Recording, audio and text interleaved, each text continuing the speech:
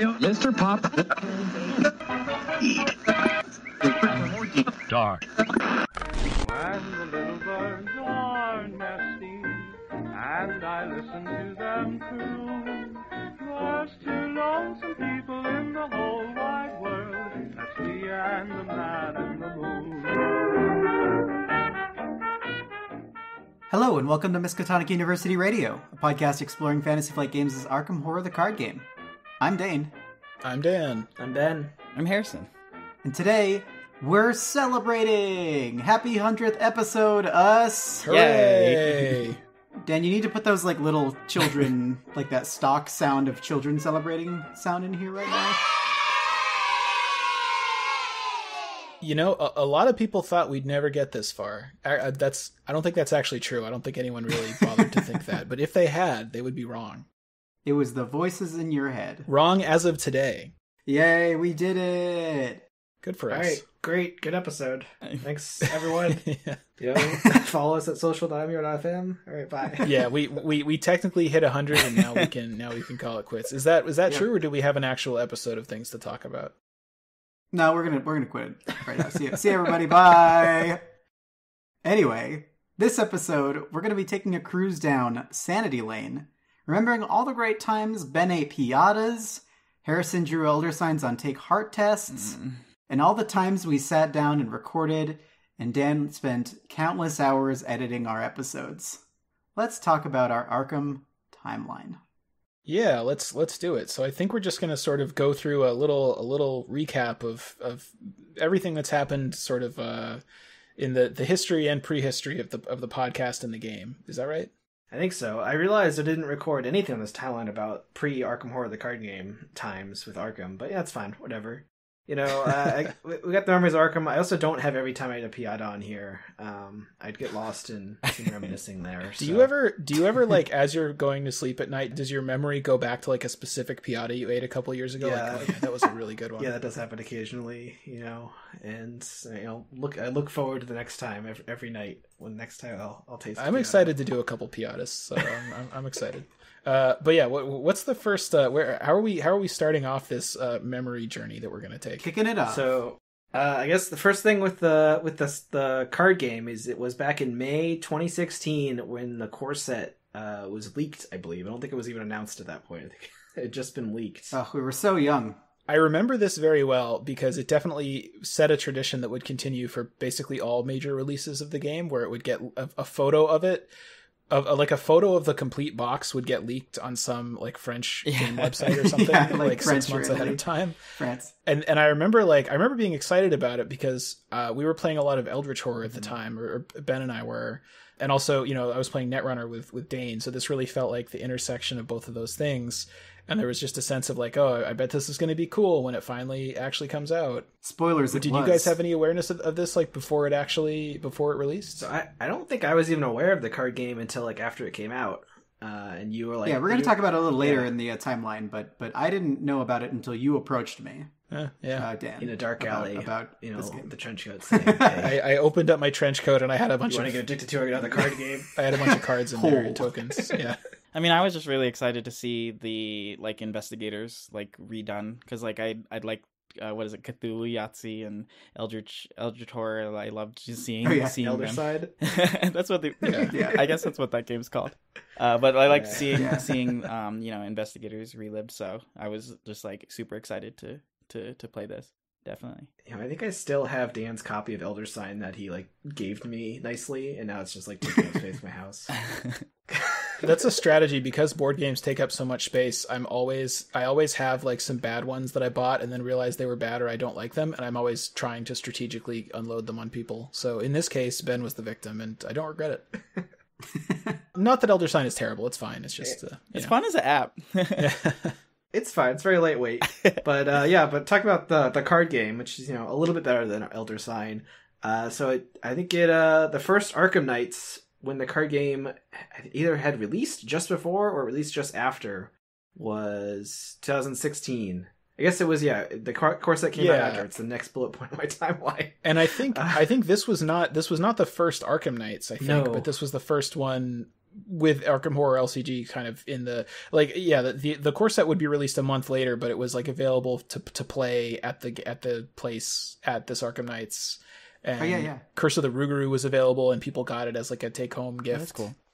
I would love to know like how much the player base has changed. Like if anybody went there before Arkham Night or before Arkham Horror the card game came out, what the difference was like, you know, in 2015 or whatever as compared to 2016 and beyond. My understanding is interest in in Arknights skyrocketed with the card game, and like it was like Yeah. a lot lower. You know, it was still like people hung out and that enjoyed Eldritch or, or Arkham Second Edition or whatever, and hung out and played. But uh, I think the I card think game it, really it used to be a much more like local local Twin Cities kind of thing. I think um, Sure, these days sure. these days I think certainly most of the people traveling from out of town are there for the card game, but there definitely are still people that are just there to play um, old school Arkham Horror, which is mean, pretty cool. There's there's a good amount of locals that show up too. I know a lot of people going this year, or people that live in the area. So Yeah. Definitely. yeah, so that was that was the the first taste that the world experienced, and then the course that came out in November 2016. I think Dan Mhm. bought it immediately, and then dragged me over to his parents' house to play it. I think is what happened. I, I definitely yeah we should we should talk about each of our kind of first experiences with the game. I remember getting it as as close to launch day as I possibly could. I think at X9 Games in, in Hadley, and I, I remember playing it with uh with my friend Merrick who I used to play Netrunner with.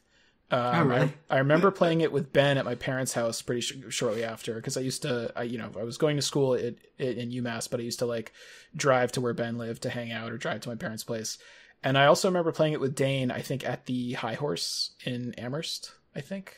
oh yeah, yeah, yeah. Yeah. There, there was a bar where like sometimes when it wasn't super crowded, we would hang out and play games. yeah. You played a card game at a bar. Yeah, We used to we used to run nets at that yeah, we bar. yeah we did. We sure did. We we did a net Netrunner draft at that bar. Was it an exceptionally clean bar? Every bar I've gone Oh, to, yeah. I would not want to put any of my sleeved cards even on on the on anything.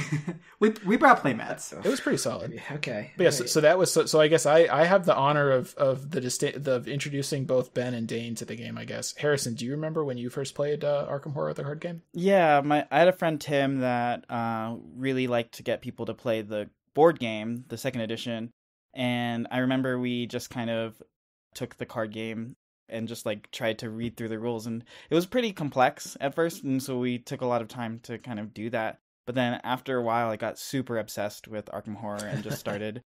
I had like four core sets that just were ready to go with investigators. Like I had, I remember just having like starter decks that I was like, "P- just pick someone to do that. And I was like at our friendly game store like every Thursday, like trying to get people obsessed with Arkham Horror. And you know, I think that running events like that was kind of how I met Dane too, because mm-hmm. you because I was running events and Dane. And Dane was like, "Hey, do you want help running events?" And I was like, "No." Because I was running events up in Massachusetts, and I was like, "Hey, there's this cool person who's running events down in Connecticut. I might as well meet up with them so that we maybe we could make a whole network of running events." And they were like, "No, I'm that's all right." good. Yeah, like, a, a kind what? of network of running, if you if you want to put it that way. So I was about to blame all this on Dan, but I, I realized I don't. Dan is not the source of this because it's. I think it's Dan and I's friend Brad who forced me to play Arkham Horror the board game like twenty yeah, like 15 years ago or 2011 something. or 20, 2012 or something, and he's also the one who introduced me to Beata. So, so Wow. shout out to Brad, really. Uh, yeah, for real.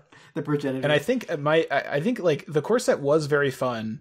I think my initial take was like these decks are not very fun. Like you know the game was new, so you didn't have much to compare it to. But comparing it to like Netrunner decks, the decks were like you basically just took all of the cards from the core set that you could legally play in like Roland or Wendy or whatever, and those were your decks. So Yeah. you'd have like Roland would have like um like secret cards that made no sense. But even even in that early stage, like it was still really fun, and it, and it was like you could kind of tell that it would get more fun once more cards were available and once more kind of scenarios and campaigns came out, which did. yeah, I mean, I think yeah, totally. I think you and I played like Roland Wendy with like the recommended starter decks or whatever, and then. Uh, oh no.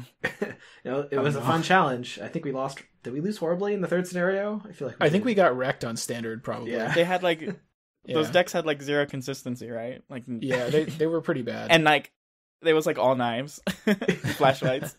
Oh, yeah, that's right. That's right. yeah, I was gonna say I should mention that like the first thing that I realized about the core set was that I needed another core set. the second thing that I recognized about the core set was that it's actually in secret a two part campaign with something at the end of it that nobody wants to talk about. but I remembered feeling fantastic through the first scenario, and the second scenario just opened the possibilities, and I was like, this Mhm. game is going to be great. There's also, I think, this famous thing that became a meme of like everyone not knowing where the Lita Chantler card is because it's in the Oh, core yes. set, but it, it comes it goes with the player cards and not the scenario cards or something. So everybody thinks that they're missing a card. I think at the revised core they moved it to be like packaged separately to counteract it. Conscious decision. Love it. Yeah, What cou- coupled with the core set release, like the core set campaign itself is like the first scenarios are like are, first scenario is fine, second scenario is like pretty good, and the third scenario is like very mm. bad. But what's coupled with that was the release of the standalone scenarios. Like Carnival of Horrors came out December 2016, right after the core set, and we Yeah. already had Rougarou. So Yeah. jumping in, you had like five scenarios to play around with, and like Carnival of Horrors, pretty good scenario. So- It's fun. Oh, yeah. it was cool also because it kind of set this expectation that like, oh man, there's already two standalones. I bet we're just going to get these all the time. Like they'll probably do several of these per year at least. And then that absolutely did not happen. Uh, we- uh, we get we get like 1.5 per year, uh, maybe. Yeah, I kind think, of, I think but- we get one or two every year still. Uh, maybe and they're and they're usually they're usually like epic multiplayer ones that are cool but like maybe not the most fun to play with a single group but like Sure, it's it's cool i'm still glad you know yeah, it was a good experience to have just those extra scenarios coming out. And I think Carnivals of Horrors was the first one that kind of like really messed with like the map and like really Yeah. showed Yeah. a lot more potential of like, oh, there's a bunch of different ways this card game's going to go. Yeah. and it was set uh i mean I, Rougarou was set outside of arkham but this was set outside the united states so that was kind of different it had really Yeah. really cool art names that were extremely hard for ben to pronounce so a lot of a Oh, lot yeah. of fun elements that would go on to be major Uh, parts of the game for us I mean, Carnival of Horrors was like the first time that I saw Dan's face light up in a very mathematical way. and he introduced me to a very interesting concept, the monty hall problem yes, through that scenario. And it was one of our favorites at the beginning, right? Like when we were sort of judging how good each of the scenarios was, we like Carnival was was consistently at the top. It was, definitely like- one of the definitely one of the best ones of uh one of the best ones of the early run of the game I'm just upset at it for teasing us with the mask slot, and I don't think that we've used it any, anywhere else. Maybe someday Yeah, the- MJ will pull it back in like the, the final campaign. That's that's going to be the the warning to you, Harrison. When you see the mask slot used in an actual campaign, that's the sign. All right. But the first, we did get our first full campaign, uh, January 2017. I think was when the Dunwich Legacy.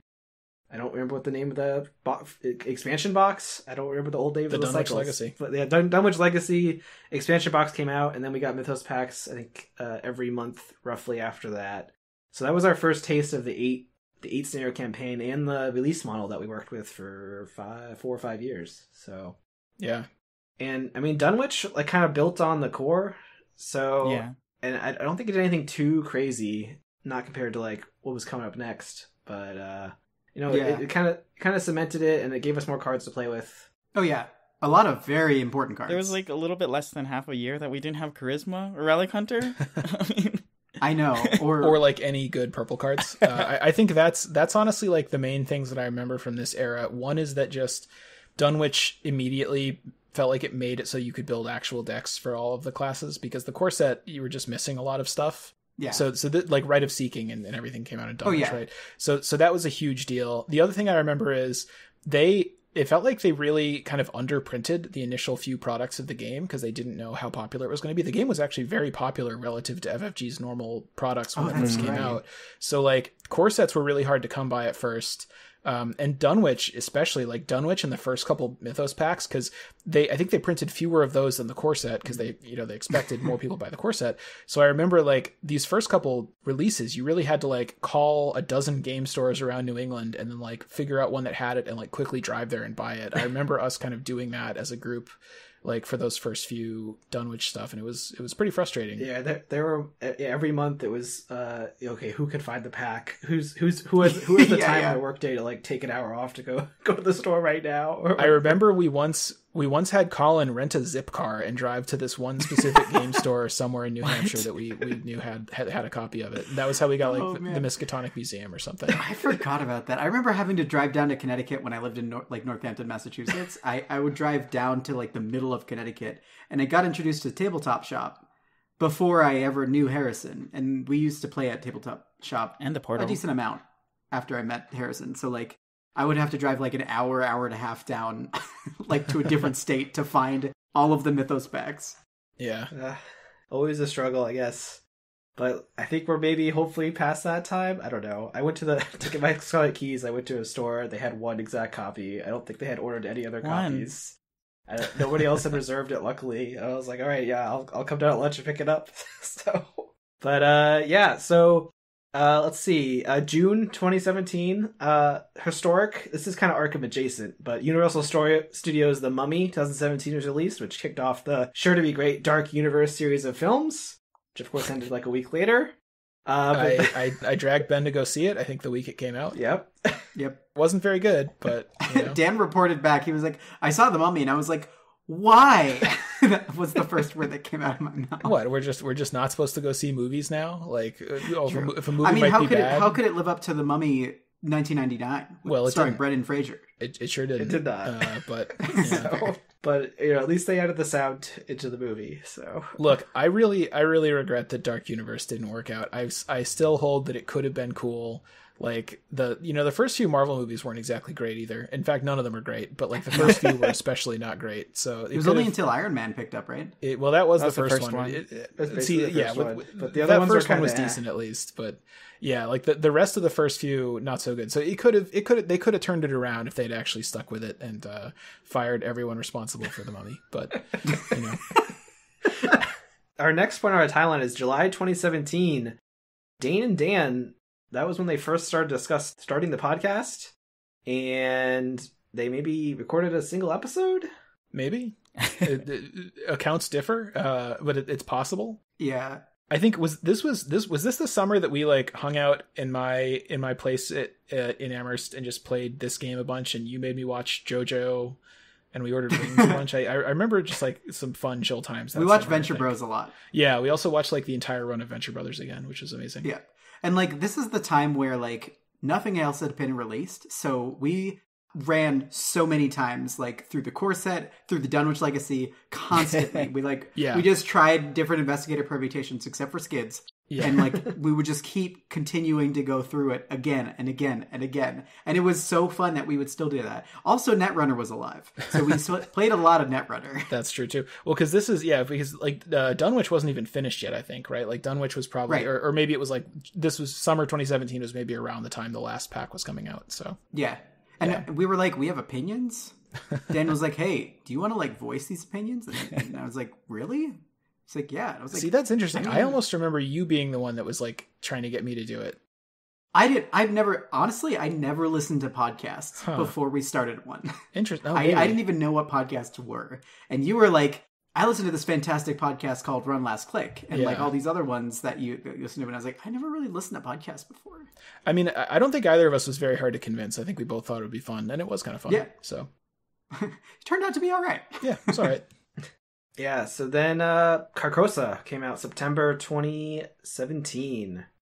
Uh, Yeah. And this this was really like, at least for me, like really cemented. Like, oh, this this game's Mhm. awesome. Yeah. because that was when they really kind of split off from what they'd done in Dunwich, which was kind of the same same-ish type of thing in each one, which was like you know you gotta get there's an act, there's an agenda, you get some clues, fight some enemies, some spooky stuff happens, you try to stop the world from ending. And Carcosa Yeah. like flipped that on its head, where it really spun in the narrative aspects a lot more into the campaign. Uh, it messed with the rules of how actual play worked by like having multiple agendas uh, or multiple I have to do multiple acts. Maybe that was a forgotten age, but like it messed with a lot of what your expectations Yeah. were and like how the game played out. It added the hidden cards and stuff. So Yeah. Introduced a lot of good new player cards. Mm. Introduced uh the fir- well, I guess maybe Rex was the first god tier investigator, but Mark was certainly the second. Introduced some Oh, yeah, yeah. investigators. I mean, one thing that should be mentioned about Paths Carcosa, we, and we definitely should have had a spe- separate bullet point for it. Black Stars Rise was when Ward 2 came out. for this game. we played this game for like a year before we played with Ward 2, Yeah. which is wild to me.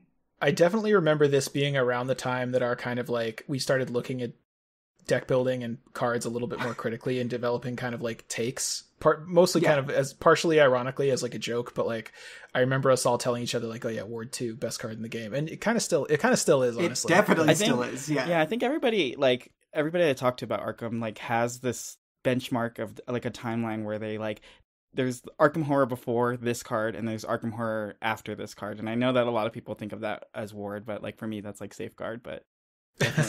but just back to Carcosa, it's like I know that somebody's a huge fan of Arkham Horror whenever like you just say Hastur and like like people cringe. like uh, like oh yeah. we're on webcam right now and everybody just kind of like shivered. Like I Yeah. just love that like that narratively that's something that people can do with with the game.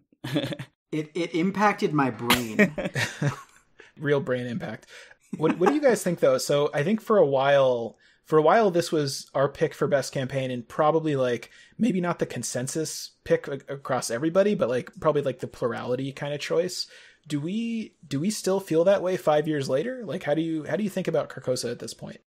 I mean, I, I think it's still really good. I haven't played it in a while, just because I've been more. I played it a lot, so it's more like oh, I want to try the newer stuff.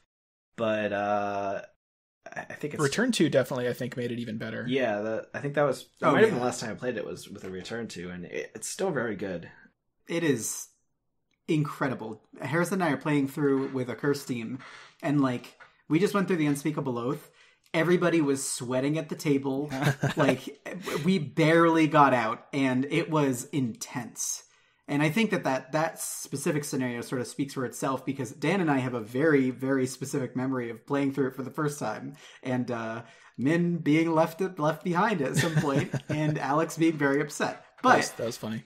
that campaign, I mean, in addition to coming out at kind of a pivotal time where like we sort of saw sparks of the brilliance in this game, you know, but never really had it like all jammed into one cycle like this. I think that's that's kind of where I'm at on it. Like, if you ask like what's the best movie ever made, people say like Citizen Kane, and it's Yeah. not because it's literally better than all the other movies. It's because it was a fairly early movie in like the early 40s when movies were still a pretty new art form, and it was like it was the last movie that was like maybe clearly better than everything before it. And after that, things just kind of like got a lot more interesting, and there were all kinds of different movies, and you couldn't you could no longer say like this one is definitively the best. So that's kind of how I feel about Carcosa. Like it was at the time definitively the best of everything up to that point.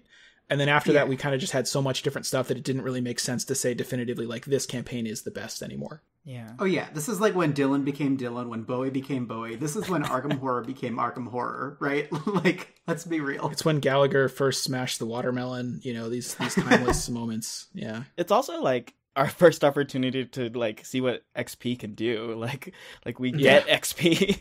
yeah. Because Dunwich Dunwich We're like, there's very wow. little. Yeah, Yeah, yeah, yeah. and Carcosa doesn't even really have that much compared to like Forgotten Age. Did it? When did Delve Too Deep come out?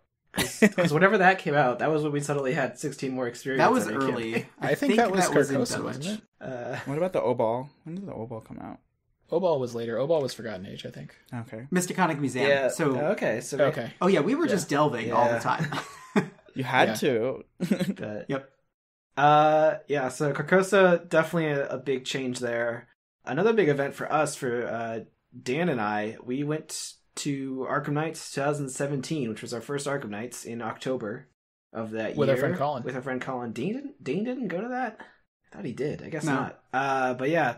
Uh, so that was a fun experience because that was our first um, what would become almost annual trek uh, to Minnesota. Labyrinth of Lunacy premiered there. That was the first taste of like the the multiplayer or massive Hmm. multiplayer scenario type. I got to go on the card council and help design a card. Uh, we don't need to mention Hmm. the name of, but I, I was there, participated. And then we also saw the the horror of the first uh, novella, uh, which was a whole a whole new challenge of trying to find those novellas every time they released. Oh. um, I Yeah, read but those. the first one that we just bought there at Arkham Nights. The Jenny one was at Arkham Nights Yeah. that year. Yeah, that was fun. Yeah, that was our first trip to the uh, to the to before it was the Game Center when it was just the Games Center. But it was it was good. It was fun. Yeah, it was good times. Uh, and shortly after that, I think the first Invocation event happened. Oh. in was that December 2017, which was Yeah. I think Mhm. Labyrinth literally featured in it. I don't think they gave it out during that, but we went to like X9 Yep. to run that event, right? Was Dane there for that? Yep. Yep. Yep. I was there. Yeah. I led one of the groups. I think we, I think led we all one of did the that. groups. Yeah, and and that was uh I remember what was it was just cool that there was actual prize support for it. Like FFG had done this for Netrunner and Oh, their that's other right. games where they would have like game uh you know game night kits or whatever Mm-hmm. or like uh pro, you know store tournament promos where you could get play mats and boxes and things. So it was just neat to see that. It, it didn't really last. Like they did a few of these, I think they did three, I want to say, and then they stopped. Mhm. But it was cool to at least see a little bit of that. I mean, it's hard, Yeah. right? Because it's like a cooperative game. Yeah. I still like the idea of them kind of like trying to get people to game stores to play in like a community setting. I wish they would do more of that. yeah. Yeah, Yeah. I mean, obviously, there's a lot of it that happened a few years later, or there's there's a thing that happened in a few years later, which you know separated everybody forever. But What are you like talking about? Second about my beard. the the invocations, I always like remembered them by the promo card that was with them and the playmat that was with them. I I just completely forgot about all of the Oh scenarios. yeah, that were this released this gave out the Daisy like- promos, right? Like the first Yep, of like the- the, the first Daisy of like promos five and Daisy the, uh, promos that exist. And the iDoc iDoc Salon's pet Yeah. playmat. Yeah. You know what? I I think docs your IP address. was this the first time I met Dane in person during that invocation? I feel like think it so, was. yes. Oh, it might be. It might because be. Yeah. I think I uh, sold him a bunch of sleeves that were matte that I had by accident. That's right. Look, Because I Yes. accidentally bought mats instead of, or I got mats from an order instead of clears, and I was like, I need to get rid of these. And we did like a, a deal in the parking lot, and then parted ways. I think that's probably true. And I think also like I think over the next year or so, I think Ben would sometimes come and hang Mhm. out in that area and we would we like I remember we played through we played through Carcosa or something, like as a group in my basement. But That was Forgotten Age. okay, forgot. I feel like the first time at Harrison was also at invocation. Yeah. It was like the year later, maybe. oh, you came yeah. to one of the ones we did at the portal, and it was always great to like have a game store that that Yeah. like expected to like somebody to run a invocation for them. So like it was always a great opportunity to meet people, and that's think- kind of how we met Dane too. Definitely. Yeah, it was whatever invocation gave out the lucky cards. I think. I guess- also, I also Yep. remember which uh, which promo it was. yeah, it's just it's just it's all about the promos and the I playmats. don't. Yeah. Anyway, Was that Egypt? I don't remember. Yeah.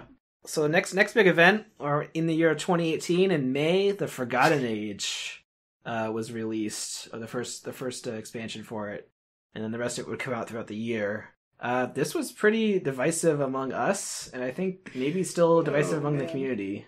This was like remember. I mean, it should have been included. April first, twenty eighteen. They spoiled the Survivor for the Forgotten Age. Oh yeah, I remember that.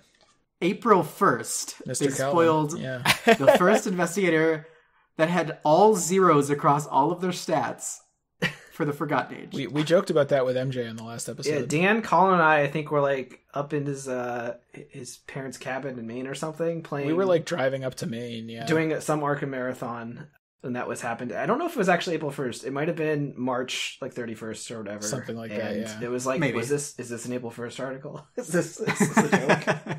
I feel like my position on Forgotten Age has stayed pretty consistent and reliable and steady, and I feel like you guys have gone all over the place with it.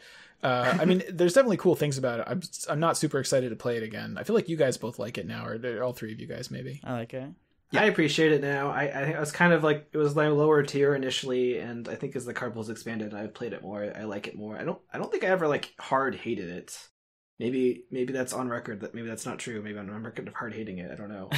um, I I hard hated it. I think I it came out. remember. I remember liking that it kind of made evasion a thing. Like before, evasion would Oh, be like right. something that Yeah. you didn't like think about. Like it wasn't very helpful thing to do. Yeah, Like when I got in Carcosa, when I got the the organist, I just remember I was like, okay, I'm just gonna lose this one because I don't care. Yeah, and previously, like Dunwich, there was like one scenario where you like kind of needed to evade, and then same thing in Carcosa, I think, and at least in multiplayer. Yep. And then the uh, Front Age brought in a new mechanic that kind of encouraged it more, so that was that was cool. I mean, Front Age it had the supplies mechanic. It, had, it introduced a bunch of new mechanics, but I think they didn't all land. While like all the new mechanics in Carcosa did land. Come on, you guys, Yeah. you got to turn into an alien. some of the some of the scenarios are really good. Like Threads of Fate was great. Depths of Yoth Oh, was yeah. great. I remember Depths of Yoth being great. I think City of the Oth or uh, yeah, or what is it? Our City of Archives is fun. I think Dan has said he doesn't like it because he doesn't like get to play his deck. It's like a weird Assets. amalgamation. yeah. I'm not the only I'm not the only one who thinks that. No, Like, not that's at all. That's A lot that's of people think that, Yeah, I mean. I, I respect it. It's a very cool and creative scenario. I just like it always annoys me to play it. Mhm, mhm. I remember you guys. I think you guys hated it because didn't you guys die horribly in like the second scenario or something when you guys first played it? with with Carolyn. Yeah, Carolyn's you were playing book came book out at some point a little bit after. That was Book Oh. Carolyn, yeah. I also like. I mean, not to drag on it too much, but Untamed Wilds is still maybe my least favorite scenario. It's just it's it's it's, it's just a really it's a really brutal opening to a campaign. It is, and I think to be fair, I mean, looking at this timeline now, past the Carcosa and then Forgotten Age, like what campaign would would hold up? Yeah, after pretty much you just got off of riding the Carcosa train. Almost anything You was know. maybe going to feel like a letdown. You know. Yeah, so I think that that might have tilted my attitude a little bit towards it being negative. Me but too, Now probably, after yeah. replaying it, I was like, oh man, this is much better than I thought than I remembered. Also, Re- Return to is better. Yeah, so I mean that uh, it was maybe the first part of a double whammy that that brought you guys into starting the podcast because June 2018 was when Netrunner was unceremoniously Oh yeah. deleted. Um, The infamous jacking out announcement, Yeah. Black Friday. I actually don't remember if it was a Friday, but whatever day of the week it was, it was black that day of the week. Oh man, yeah, after that tragic event, uh, July 2018, you guys, uh, Dane and Dan started recording and, and released episode two of the podcast. Yeah, and I it's it's as funny. it should be. I never really thought of this as like we started doing this because they canceled Netrunner, and I'm still I still don't think that's necessarily the case. But when you look at it on the timeline like this, it's like oh maybe that kind of was part of it. Yeah, But yeah, we just started. Uh, I think we. I- It's also like I felt like there was enough going on with the game. Like there was lots of new stuff coming out. There were a lot of new cards. Like deck building had gotten really interesting, where it maybe hadn't been for the first six months. Like it felt like there was a lot of stuff to do a podcast about. And at the time, um, there really weren't. I don't think there were any other podcasts going at the time, or maybe maybe a couple had like just gotten started. I think Mythos Busters and Drawn to the Flame. Yeah, yeah I think those. been I think those they were those like two the were ones around. who started at the Yeah, beginning. Yeah, yeah. They were both they both started from the beginning or like shortly afterward. Yeah, I think I think you're right. But it was it was definitely like the kind of ecosystem of podcasts and channels and stuff that exists now. There was nothing nothing close to that back in summer 2018. yeah. It has been grown huge. You're right. Yeah, yeah. Yeah, we started. Did we start doing it every two weeks or once a month? I I, I feel like we we went we went to once every two weeks relatively quickly, but we might have done it slower. yeah, I think it was once a month, and then we did it every two weeks. I, I have vague memories at that time of sort of like gradually figuring out how to edit podcasts, and it's kind of kind of interesting. Yeah, yeah, oh, yeah. Sorry, I got distracted. Yeah, it looks like you guys switched to two, doing it once every two weeks, uh, fairly quickly. It was like Hmm. the first. There was a bigger gap between the first couple episodes, and then in September 2018, Dan made his exit from New England, Hey, want to start a podcast? Bye. forever Yeah. fragmenting the group across the United States. Uh, yeah, Yeah. the the days where we could all just like drive for an hour or so and be in the same place and uh, play cards was sort of coming to an end. We we managed to play a little bit here and there. Uh, you know, I'd I'd be home for a holiday or something like that. We we still made it happen every now and then. Um, and of course, there's also electro electro digital card game operation mechanisms that we've taken advantage of. I don't think that existed at the time. That I don't. I don't have that on this timeline, No. but that that did come around pretty pretty soon after that. Yeah. Although, I mean, after Dan moved, we did then go to Arkham, Arkham Nights the following month in October 2018. yeah. Uh, which Yeah, exactly. Which Dane we did did come to that one, right, Dane? yeah, that was Dane Dane's first trip to Arkham Nights. Yeah, and that was also the Yep. same month that you guys, uh, I would say, tricked me into joining the podcast due to by using vague words. Uh, it- it- Well, we we had had you on as a guest, I think, to talk about cards in some pack. Well, Dane kept saying he wanted me to come on the cast, and I was like, "Oh, okay, you want me to come on the podcast?" But what he actually meant was be a member of the cast on the podcast. And then I had like done a couple episodes. It's like, "Yeah, this is fine. I guess I'll do it. But I, I guess I didn't know what I was committing to at the time till I was already Yeah. in. So Yeah. It was it was kind of funny how that happened. Uh, but I think it was things things just went a lot better with like three people. Like Mhm. it's just easier to it's easier to keep things moving. I and think. you desperately needed someone to ask rules questions to, which at the time Yeah, we- was much easier in 2018 to answer questions about. yeah, we- we definitely needed someone who actually understood the rules. That was a really big enhancement to the podcast for sure. oh man, I can't even remember those beginning games before we met Ben, where we were like, "Hey Dan, what happens if this happens?" I think that's this. I mean, I, I I'll, I'll be honest. Like, I refuse to actually read the rules, but I feel like I have a good intuitive understanding of about like seventy percent of them. You know, the other the other thirty percent, that's what we need Ben for. I feel like Yeah. I feel like Ben Ben definitely like like has a huge role, especially on the Discord. Mostly to like read the rest of a card for me because I just like get like three words into a card and I'm like, oh okay, this is how this works, and then Ben's like, that's absolutely not how see, that works. see Ben in in let's say other card games. Uh, you know, there's a whole official judge program Mm. for people who are rules experts, and they're they're revered as gods and respected by everyone. Are and they they? get unique they, well kind of and they get they get unique promo cards and everything and uh but in, in arkham unfortunately this is all kind of unofficial Yeah, that's so that's an offer in Arkham. So I mean, if that becomes a job, I can you know career pivot quick to that. You know. Uh, yeah well and we should say there at, at the time again this was still kind of early days but these days there's like a specific discord channel for people to kind of like debate the rules and there's people there's kind of like liaisons between the ffg dev team and like the community to figure out rules stuff so there's a lot of infrastructure in place now that there wasn't back then Yeah, I mean, uh, Yeah. I, a lot of the time, if I have a rules question, I'm not sure if I'll go there and ask them, and someone will, someone will tell me right away. So, Right. and I think FFG, at least recently, FFG has gotten a lot better at like responding to like the weird interactions questions. They kind of struggled with that for a while because I think it was like all on MJ to do, and she was also trying to like design the whole card game. So, so uh, it was a bit of a burden. But now I think they have a dedicated rules person that will respond to questions, and now they're like the FAQ on ArkhamDB gets updated like every week or two with like new stuff. So When when was the first? I don't know if we have it on here, but when was the first taboo? Because I remember like crying about machete. it's on here. It's it's coming is up. it? Okay. Spoilers for like three bullet Spoilers. points. Sorry. Uh, Here's a question though. Didn't I feel like every time we went to Arkham Nights, somebody got to be on the card council? Is that right? uh, no. No, Ben Ben did in 2017. You did it at another Arkham Nights. I still haven't gotten to do it. 2018, I think Colin won like some prize, and like and Oh, then that's it got right. like traded He won the Unexpected courage and like somebody else, and it was some complex thing. There's but- some kind of horse trading I, that's happened. I I remember what it was. so I I won the raffle that had all of the books in it, all of the books investigators, mm. and and Colin won the raffle that had the two unexpected courage alt arts. oh yeah. and Colin was like, "I want those," and I was like, "I want the unexpected courages," and then we traded. I didn't. Something like that. Didn't yeah. Colin somehow end up with like the the Investigators Arkham book? I remember that I won an Investigators of Arkham book and Oh, I traded right. it. I traded it to somebody for something. And I think I think Colin ended up with it, and I think I I don't know I got an extra promo or something. I don't, I don't even remember. Yeah.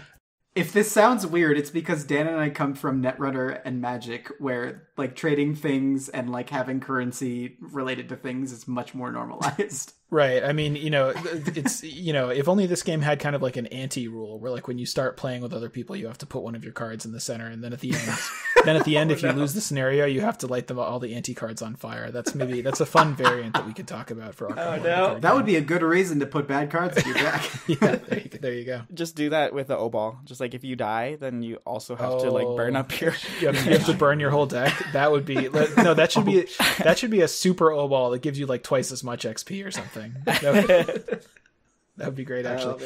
Um, and it would it would it would be good for FFG's revenue because there'd be a lot of people buying new cards. Um, More cards. the other thing in Arkham Nights that year was Guardians of the Abyss Part Two, right? Like Part One Yes. had been at Gen Con the same year.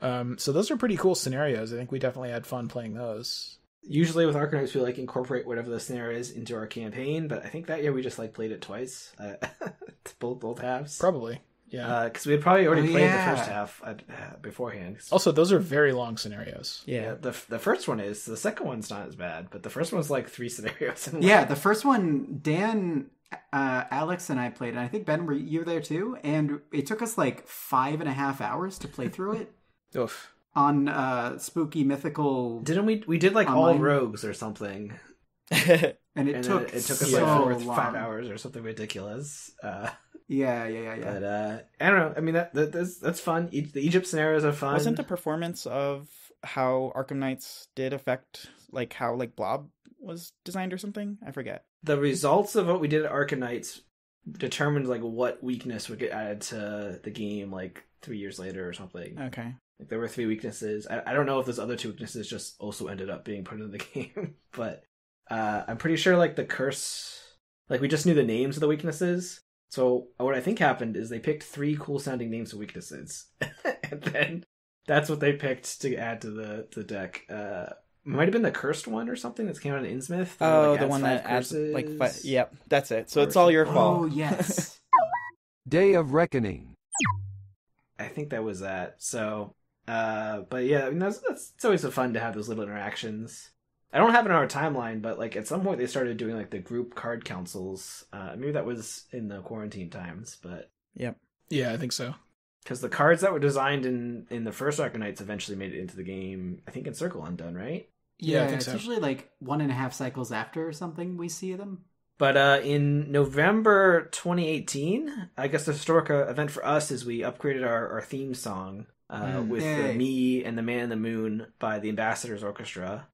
Uh, 1928, which is technically like two years before the copyright was available. Uh, it's available next year, and YouTube will stop copyright striking me. So I'm excited for that. Hooray! Um, unless Disney like gets it extended because of corporate and nonsense. Dane, uh, but- Dane, Dane kind of like scrambled up the beginning of it to Mm. put in some creepy radio sound effects. That's where the that's where the opening came from. yeah, yeah. I think it was Yay. episode eight or nine or something was when we switched to that, and we've we've been. It was shortly after I joined because I didn't remember there was a different theme song. I was like, "What?" the original one we used was one that I also made by myself. It Mm. was just like a quick little lick. It was very good. It was just it was ominous. It made it seem like the podcast. It made it seem like someone was going to die on the podcast. Oh my God. Yeah, and it made a lot of sense. It was like we're not going into a funeral home, Dane. Yeah, we're Let, gonna- we're- us pick something a little more a little more uppy. And I was like, fine. the mood of the podcast is is less like listen and we will tell you a tale and it's more like hey let's argue about some cards you know, I know. so- There was also a point, I don't know if it was near this point, where you were like, Dane, you need to start saying the intro a little bit more like peppy. You can't just be like, hello and welcome to Miskatonic University Radio. And I was like, yeah, you're probably right. yeah you need to you need to welcome welcome people to the podcast yeah lots of lots of learning and growing and figuring out figuring out how to do stuff and then we got to the novel year of 2019, uh, where we saw the Circle Undone released in January. This is a campaign that I think is divisive, uh, maybe more than the Forgotten Age, at least in in sub sub communities. interesting Yeah. But we liked it a lot. At least, at least yeah I, i feel did. like we, we've we've always just liked it i think right I, yeah, I liked it from the beginning, totally. yeah What about you, Harrison? I know some people that I mean I like it a lot just thematically, which is cool. I know that some people got really like bummed out like cuz it took you months to play the play it and then if you were just going all in on the spooky cult then you win and then you just like have to do it again um before I don't know. I think that's what made a lot of people upset. It was the first campaign that had like an early win condition as opposed to an early lose condition. that's all a matter of like opinion though right like it's all you know because the game doesn't really tell you like you win or you lose right it's just like you're you're done Oh, You're it done. says you win question mark or something. Like that. okay yeah okay. But I don't know. The Circle Undone, I think it has a lot of will tests, which people don't like, and investigating is harder. So if you're not a class that's like really good at investigating, you're more likely to fail more often. It, it can be more punishing, I think.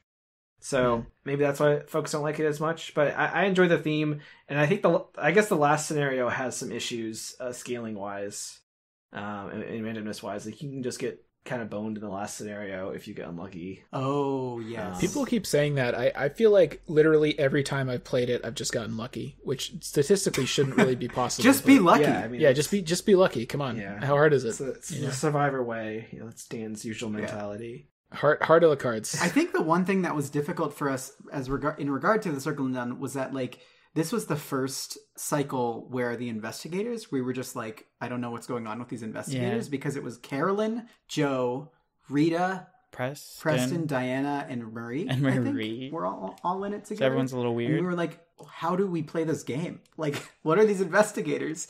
Our blind playthrough was just wild. I did not have a fun time because I think some of the investigators did not have a good card pool enough to like support like a, a fun and active play style. But yeah, this was also the first time that we saw the like rogue big money, which I was really excited about.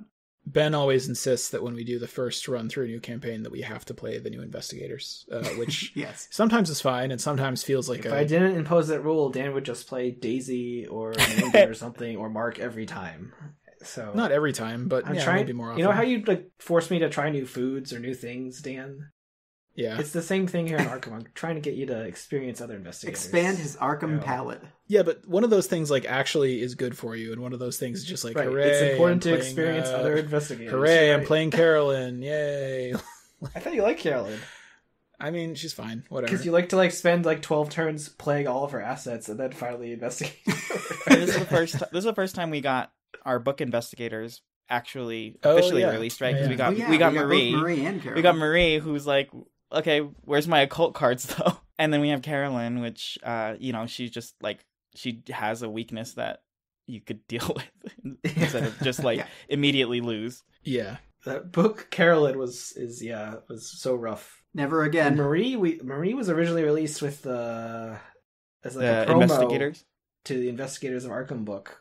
Uh, right. Yeah. that's Which right. which came out like shortly playmat. before the game came out. Yeah, or, think. or maybe just after, but at the time, like we didn't pre-order that because we weren't that into the game, so we didn't have Marie for a while. At least I didn't. I think midway through the Circle Undone cycle in April of 2019, we got the first taboo list, Ooh. Hmm. which we are always excited about the taboo list because it uh, is a is a rule set that I can apply mostly to Dan to uh, curb the power of the cards that he plays a little bit. So, and, and it's always an interesting discussion. I think that first taboo list we saw like Rex was finally like actually nerfed. Although I think we had stopped playing Rex at that point because he was it was too easy. Yeah. Pretty And much. then, like Machete was nerfed, and, and then a couple other things. But yeah. Milan, right? Was Milan Oh, yeah, done? Oh yeah, Milan- Milan. Milan, Milan Rex. is- has that. Uh, so he works once per turn. So Higher education, streetwise. yeah, Uh, the the the ridiculously broken scrapper was finally put up to five XP. oh yeah. Ending ending the reign of terror of the card Scrapper. That was really just wrecking the metagame I mean, entirely. it's still it's still like a four. I, I don't know. I, I I never have money in Survivor to to do stuff. Maybe, maybe it's to my play style. But yeah, so that was the first type of list, which is, was an interesting way to manage the growing card pool, where it's kind of like a, oh, this is kind of an optional thing you can do to like uh restrict yourself a little bit. So so maybe you're not playing the the ridiculously overpowered cards. And they did it so like some things they just made cost more experience, but other stuff they like changed the behavior. And then they had a whole category that was like, oh, these are cards we banned, but the first taboo list did not ban any cards, so it's just like, you know, it's coming. Um, and did eventually. Did they not ban uh, Double or Nothing at that point? No, no, not immediately. They, I think it was maybe the next one, Okay. uh, or, or the Okay, third, okay. third taboo list. It's been like five or six by now. Was this taboo list the one that confronted like the second the this was like right after the Circle Undone came Mhm. out, so like that Infinite Rita thing was a thing. There was a Jenny thing. Uh, I don't know. yeah. With with all in. did All In get nerfed in that one? I didn't note it down. What got noted when? I think so. Yeah. Yeah, it was all in the one that gives you a bunch of clicks and uh, teddy bears. It does seem like taboo list sometimes is just like nerfing specific infinite combo decks that I don't know if anybody actually plays one than once because it, it can't possibly be fun to to They, just Yeah. they do. and and I think this was like this was around the time that you started to be able to do some really weird combo-y stuff with decks that you couldn't do before. Like we did an episode about some of these things. Like you could do like um what's the survivor card that makes you just pass all tests for a turn or something like that. There were Oh, Will to Survive. yeah, there were there were just a lot of combos that were trying to like play that and then take infinite actions basically. And for the first time you could like kind of sort of do it. Yeah, so I mean that was that was a cool way to deal with with card balancing, and we keep seeing iterations of that. It's usually like once a year now. There was one recently for those that are following news. We haven't talked about it yet on the podcast, but the machete finally got taken off. So machete was there for the return of machete. three, three and a half years. Oh man, I dusted off my copies. Yeah, I mean, I like that. Like when Mandy was released, they just kind of like tweaked other things, and it was like clearly like just Yeah. just get Mandy, please. The new one was like taboo friendship ended with machete. Uh, Cyclopean hammer is my new taboo friend now. You know, like yeah, yeah, yeah. Yeah, they, yeah, they nerfed Mandy, and they actually buffed Lola the recent one, which I don't know. Maybe we'll talk. I heard she's good. future, but I haven't got a chance to play her yet, but now I'm more interested because they took away her extremely crippling uh, weakness. You know, so July 2019, uh, I think with our 25th episode, we interviewed MJ for the first time, which for us was very exciting to to get to talk with Oh wow. game creator. that was cool. Yeah. yeah. Past, present, and future. and we've done uh we've kind of done an MJ interview like roughly once a year since then so that's always it's always fun to check in and uh it's always a really good time Yeah, we talked Yeah. to MJ or or Jeremy. I think we did Jeremy by himself one year. I think, but yeah. big uh Yeah. big big thanks to MJ and the whole rest of the Mhm. FFG crew have been on the podcast just for talking to us because that's really fun Yeah. This is the first time I've seen this timeline again. So, like, this is the first time I'm realizing that it was basically a year after we started the podcast, Hmm. which is kind of neat. Yeah. Yeah, I mean, we, we mostly did like an episode every two weeks, so but sometimes we had breaks or whatever. So like you know, every 20, 25 episodes a year. So that's why we're at hundred now after like four years or so. So Yay! so September 2019, uh, we saw the Dream Eaters released, which was the first time we kind of got a new playing with the campaign format, I guess. Where Mhm. like we the last four campaigns had all been basically eight scenarios uh, that you play linearly. It was a little bit mixed mix ups. Like Dunwich, you could like do the first two in different order. Front Age has like a secret extra scenario, and, and also has a couple scenarios that are like half scenarios in one scenario, or whatever. But but Dream Eaters just like, oh, this is actually two campaigns that you play simultaneously. It was a neat concept. Uh, now I think it's whatever I want, like, oh, do I want to play Dream Eaters? Do I want to manage two decks at once? is is That- the burden it- there? it Uh, is but- it is kind of a barrier to entry of just having to make two decks and sleeve up two decks is, is kind of what stops you a lot. I think also like we we like the, I think we all like Hmm. the Dream Eaters, but we all seem to like the Dream side of it a lot more than the Spider side. So that kind of complicates the experience of going back to it because we kind of feel like, uh, you know, uh, but what if we just play the Dream side? I will say though, we're kind of expecting that they might maybe do a return to this at some point because this is like the most recent campaign that they haven't done a return to. I would love to see a return to the Dream Eaters. Hoping so badly. I think what MJ said on whenever whenever they announced they weren't actually actively working on it was like, we're not working on it right now, but maybe in the future. Yeah. MJ's uh, so, as as I think she's admitted herself is not the person that likes to say no to something. So I, I it'd be Yeah. cool to see a return to Dream Eaters. You know, maybe we get more tarot cards or whatever. Or no, tarot cards were in uh, Circle. No. Dawn. what was the Yeah. This is Yeah. bonded, Bonded, cards? Um, Uh, Myriad. Myriad. Yeah. hmm. Bonded cards are fun. I like Swarm, cards. like Yeah. all of the mechanics in Dream Eaters were just a hit, right? Obviously for Ben, Swarm was a hit because Zoe got a huge the buff. player cards in Dream Eaters so are great. like you know, there everybody. I think a lot of people just enjoyed the Dream Eaters. yeah, at So- least two like all timer scenarios in Search for Kadath and uh, Where the Gods Mhm. Dwell. Have any of you uh, gotten to two groups to do the four part scenarios, just like back and forth, and just checked in on each other? We got that to work like once. I have not managed to do that, but oh wait, no, is that true?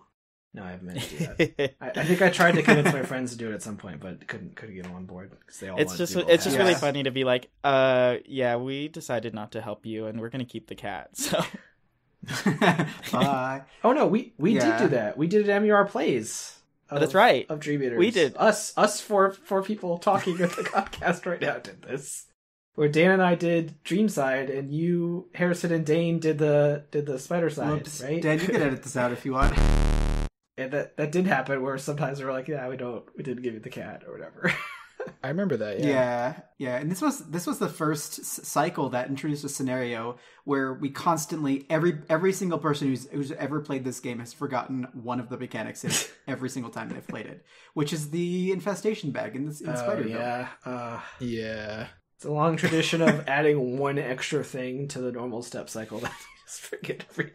Yes. at least the squid, the squid does a good thing in this scenario or this campaign. True. yeah. True. And that was different too. But yeah, after Dream Eaters uh, release, at least the box, we had October 2019, Arkham Nights 2019, which is again uh, me, uh, Dane, Dan, and Colin. We got to do the Keeper's Nightmare uh, there, Mm. where we faced Jeremy and were destroyed uh, painfully over the course of three hours. Even though yeah, we, we survived. We wrecked. survived for a while. I, know? I feel like Jeremy was just kind of like had defeated us after like 20 minutes and then just was like yeah i don't want to immediately end this game so we'll just we'll draw it out a little bit let them see more of the scenario but uh maybe. uh i don't know it, it was fun I, I think i played patrice or something and that was the first time i played her It- like we didn't know we were going to do this keeper's nightmare so we were just were like oh you want to come do this thing we're like uh, i guess we'll grab our decks and, and go in Yeah, I, I, I tried an interesting strategy for that, which was I brought a really good deck, but uh, you, you guys you guys went in Boy. a different direction with it, so that was cool. Yeah, I, I held two decks, one good deck and one min deck that Yeah. wasn't that great. And I was like, I'm gonna go with the min deck. And then Jeremy immediately punished me. Colin uh, Colin was playing uh, Larry Anderson, I think, which was you know it was fine. Yeah but yeah, with with agency backup, that got immediately Yeah. crypt chilled. Yep. Oof.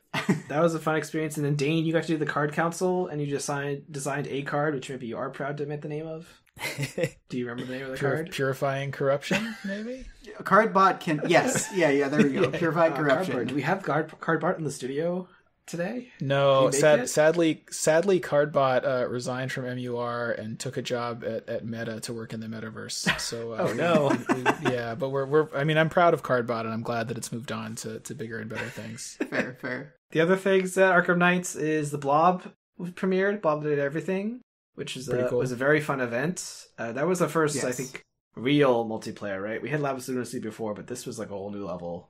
Um, I never we never looked back at Labs Lunacy after after Blob. It's a real massively Oh, yeah. multiplayer offline card playing game. It's I- pretty good. Yeah, I remember playing this one at Gen Con when it was released, like or one of the first ones, and we played like a ninety, Mhm. like a ninety player blob, and everybody was just so excited when we defeated it. And I remember MJ was there, and just like we, it, it, it was like the first time that we saw so many people that were playing Arkham together and just uh, celebrating together. I, and I definitely like learned from a lot of the things from Labyrinth. So yeah, it was the first time where we had like a big collaborative event where everyone was contributing to the same thing. They they sort of tried to do that with the Guardians of the Abyss the previous year, where it's like, oh, your results affect something, but yeah, it was a little Yeah. disconnected. But this was like you're constantly being updated and like watching the health boss, the boss's health go down or whatever, boss's health, and uh, yeah, that was really cool. Uh, yeah, I guess it did premiere at Gen Con. It wasn't Arkham Nights. Um, it's just that was what we played it the first time. Uh, Yeah, Dan, right. Dan, Dan, and I. That is so. And then we had our our our first promo card, the charisma Yeah, Hey, that uh um Ando yeah Ando drew Andrew Del did the art for us. I think people like that. Uh, we still hand them out occasionally at events. Uh, most people that want them, I think, maybe have them by now. Uh, but you know, it's always fun to have have little souvenirs to hang out and stuff like that. So that, that was a fun experience for us, us to hang, Yeah. hang that out. I think this was also this was the first Arkham Nights that we did like a recap episode about afterwards. So uh, oh, that's right. Yeah, yeah, Those yeah. are pretty fun. Go back and listen to that if you want more details on uh, our Arkham Nights 2019 experience. Yeah. And then uh, the other thing that released in October was the Murder at the Excelsior Hotel, which was uh, the first standalone we had gotten detached from Arkham Nights in a while, I think, and designed by uh, I don't remember if they were the lead designer on it, but Nick from Mythos Busters, who I think Mhm. is now an actual employee at FFG. They got hired as a designer on Arkham, so I think we'll see more of his Yeah, stuff Congratulations, Nick. in future future campaigns. Definitely still one of the most beloved uh, standalone scenarios. Oh, yes. I think everybody really likes it. 100%. Very very fun. One of the most beloved scenarios, just because it's so replayable. I still haven't seen all 10 of the different Mhm. like second halves, so it's al- there's always Me new neither, stuff yeah, that yeah. you can try to see. Yeah, it's fun just because it's it always it's very replayable and that and not, and not just a way it's like oh there's a new location or whatever. It's like oh there's totally different objectives. So- I like testing decks, Yeah. testing decks or teams with Excelsior. So it's pretty good. Yeah. I think we we wove that into our like all Guardian Run campaign. That- Was that the was that what we did Yeah. in 2019? Yeah, we did an all Guardian Yes. Circle Undone run, Mm. which was really fun. Still one of my favorite Arkham memories. Pretty good. Uh, yeah. Then in uh, December of 2019, uh, Dana and I went to PAX Unplugged, and I think this was the first I want to say like kind of quote unquote MUR run event where we ran a blob uh, there.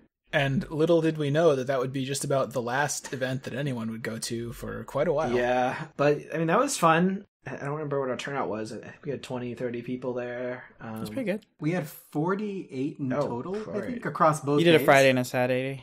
Oh, that's right. You got Yeah. you did two games, right? And I, I just hang out helped with the first one, second one. I don't I don't remember. Yeah, and, and some folks came Hmm. for both. I remember one guy had that cool MUR, sa- or the, the not the MUR, the Santa Claus Arkham uh, Cthulhu mat, which was Hmm. really neat. Oh yeah, that the thing that Dan desperately wants to find. The Santa Claus, the Santa Yes. Claus mat. Yeah, The the was that the last playmat that was released for Arkham? the Holy Yep. Grail. There was a couple more, right? That released. There's been along like promotional ones like at Arkham Nights. They've handed them out. yeah. but there hasn't been like one Yeah. that's available in retail since that. They've never made a second round of just like playmats that you can just buy in a game store. Yeah. Yeah. Uh, They must not have sold very well. I mean, because they didn't pick from the very best art. I don't know. That was the thing we talked about for a long time. It was like, oh, this would be great art if only a great late And then they're like copycat, and I'm like, well, uh, okay. Yeah, but that was the first event, and we've done a couple since then. Uh, You guys, you guys have run some locally. Yeah. Um, Shout out to like the portal and Wizard's Chest. You know, it's just good to kind of see Mm. see people uh, in the Yeah. local community and give out give out MUR promos because we just have so many. gotta hand those out.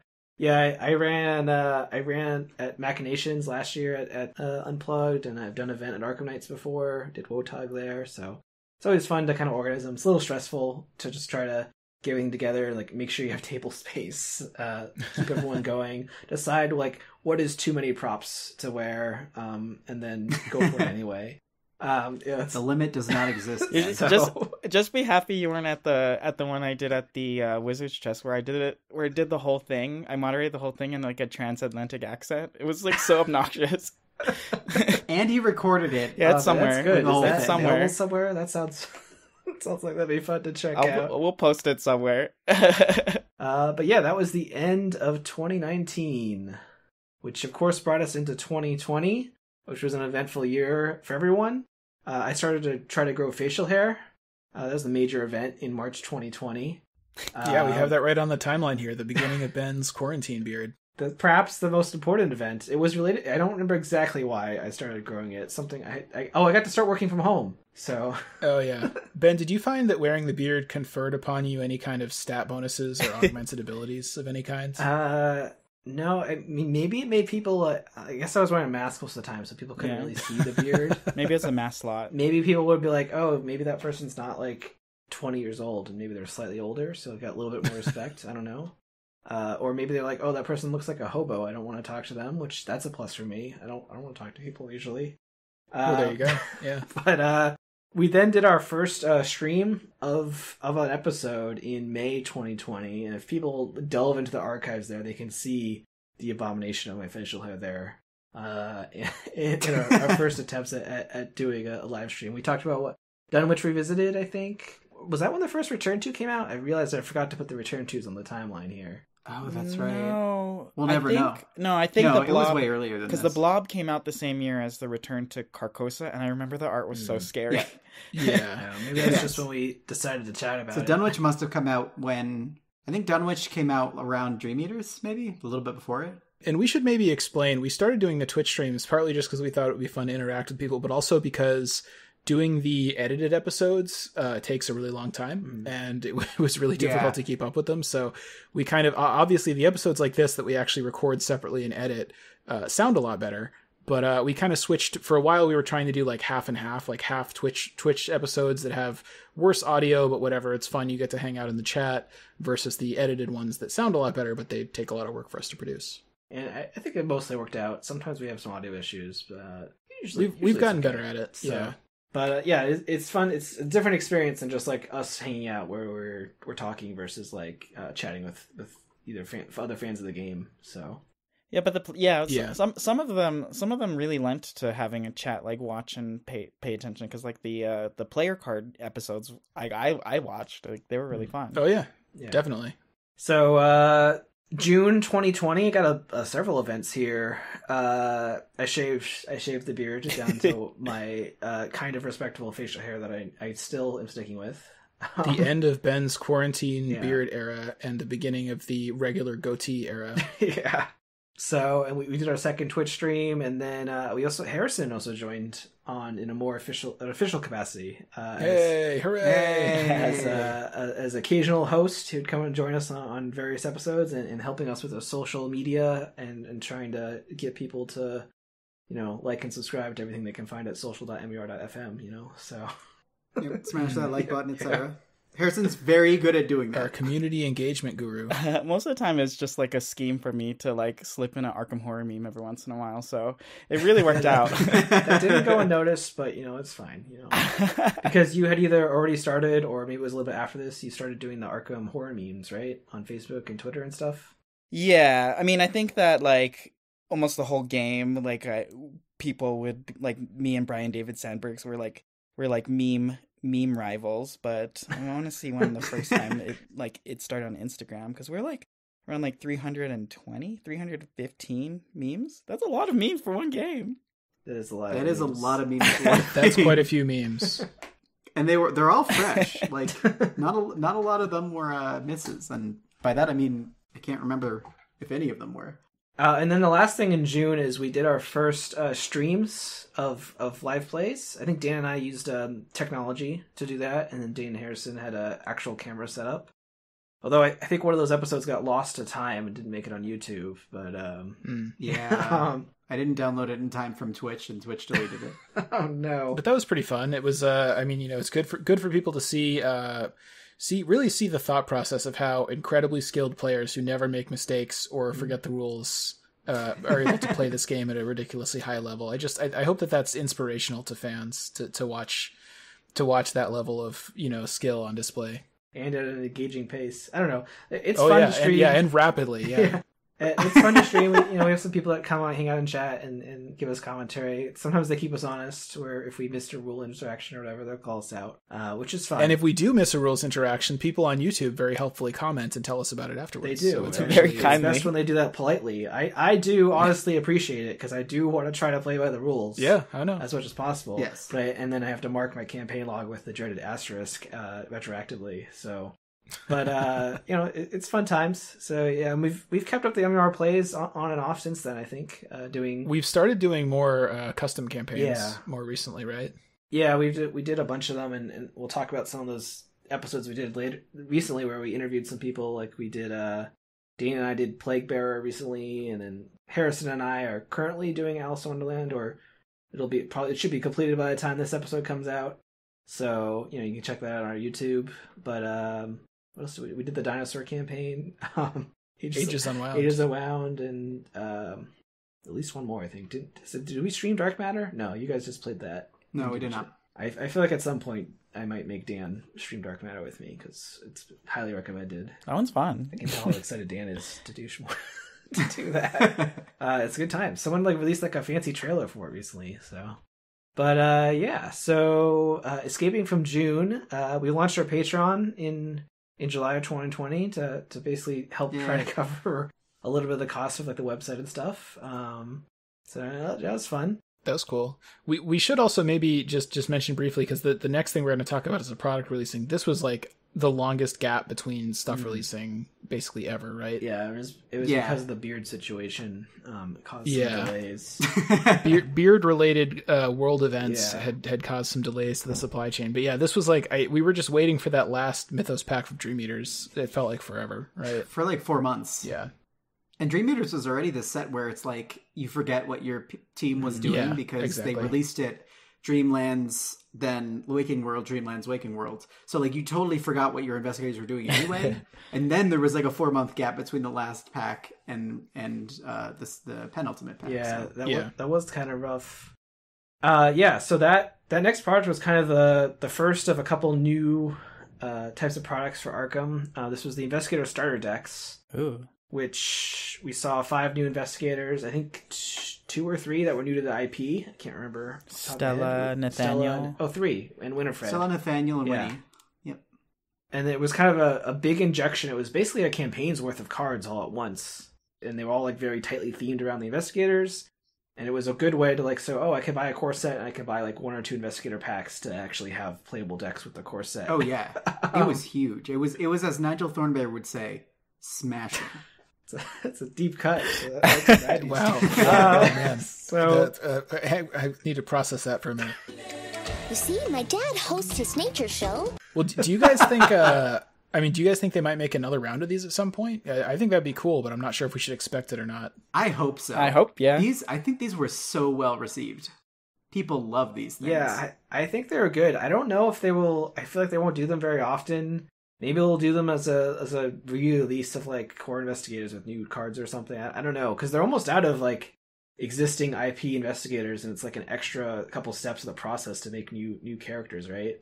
Like we've talked to MJ about that and and Co when we've interviewed them. You know what they might do that would be really cool? Maybe they'll start bringing in like uh, characters from other realms, like say Warhammer 40k. Maybe they'll start just No, bringing in Warhammer no. 40k characters as investigators as a special. They don't product. own that. They do own Marvel though. I think or or distributing. Transformers even. Maybe there will be like like Optimus Prime could be an investigator in this game. I think that would be a really great idea and not the stupidest thing ever. Does So FF I, I hope Does FFG own Android or Netrunner? Um, identities. See, there's there's the Oh, good okay, idea. okay, that actually would be great if they wanted to There's just start. idea. If they wanted to just start putting in like 1920s versions of the Android Of characters Max. in here, that Do it. I take back all. I take back all of the shade I was just throwing. Please do that. I will buy all of it. It sounds. It sounds The art is just the same art, but it has like a fedora and a trench coat added onto every one of them. But if they but if they try to do this with like Legend of the Five Rings crap, absolutely not. I would be very angry. Does about Legends it. of Five So, Rings I still would be very excited for it. Or did that get canceled? They stopped yeah, making it, but it, they it exists as an RPG system. they still own the rights to it. I think. I mean, they're still doing Lord of the Rings. Is it just Lord of the Rings and Arkham now? Oh, and Marvel. Yeah. Right. Okay, Yeah, we can get. X Men. Star Wars. We can get X Men investigators. If they wanted to put Star Wars in here, also that I would I would have conflicted feelings about, but I think I would come around on it. you can take that from us, FFG. So speaking of speaking of weird April Fool's kind of products that actually became real, Yeah, uh, September 2020, we saw Barkham Horror, which was an April Fool's joke earlier in the year Just like or the year before, like Calvin. um, when Yep. was that? Was that 2020? It was it was a joke product and then it was actually released. No, it must have been 2019. some, Yes. something like that. 2019's our uh, April Fool's. It was 2019, April April 2019. and then Yep, it somehow was became a April product. Fools. And I played it once, and it was it was basically a bunch of dog puns and cat puns, so that's kind of funny. It was great. um, I enjoyed Uh, it. we haven't really seen much since then. I, I think it might have been like an extra thing thrown into the schedule that kind of probably taxed taxed the designers a bit. Uh, but they're expanding their team Yeah. now, so maybe, maybe we'll see more of it. I don't know. I mean, for how cute this specific thing was, this is like the last time I remember hearing like global complaints about people being able to find some sort of Arkham Oh, Mm, That's product. true. Because I remember that Barkham Horror, people were like, I can't find this thing anywhere. Like, where is it? Like, it's this, they've only printed like one run of it or something like that. It was a not really sure. fundraising campaign, right? Like for I think some some money went to some animal charity, right? that's nice. Yes, shelters. And But it things, was a limited. It was a limited run. Like they they have no intention of printing more. Maybe you can, can you get them from like Game Center now, like you can with the Like printed out. parallel stuff. Maybe I don't think so. I I still have not played it, but one one day I will. You can sniff. Sniff is a mechanic. They should have made scratch and sniff cards. That would have been fun. It's the only way you can play uh, Kate right now, right? Uh, Yep. Isn't Kate one of the dogs? Yep. Kate, oh yeah, when whenever I don't remember the dog. Some pun. sort of weird pun. Kate Windpup. Wind Yeah. pup. yeah, It Kate is. was.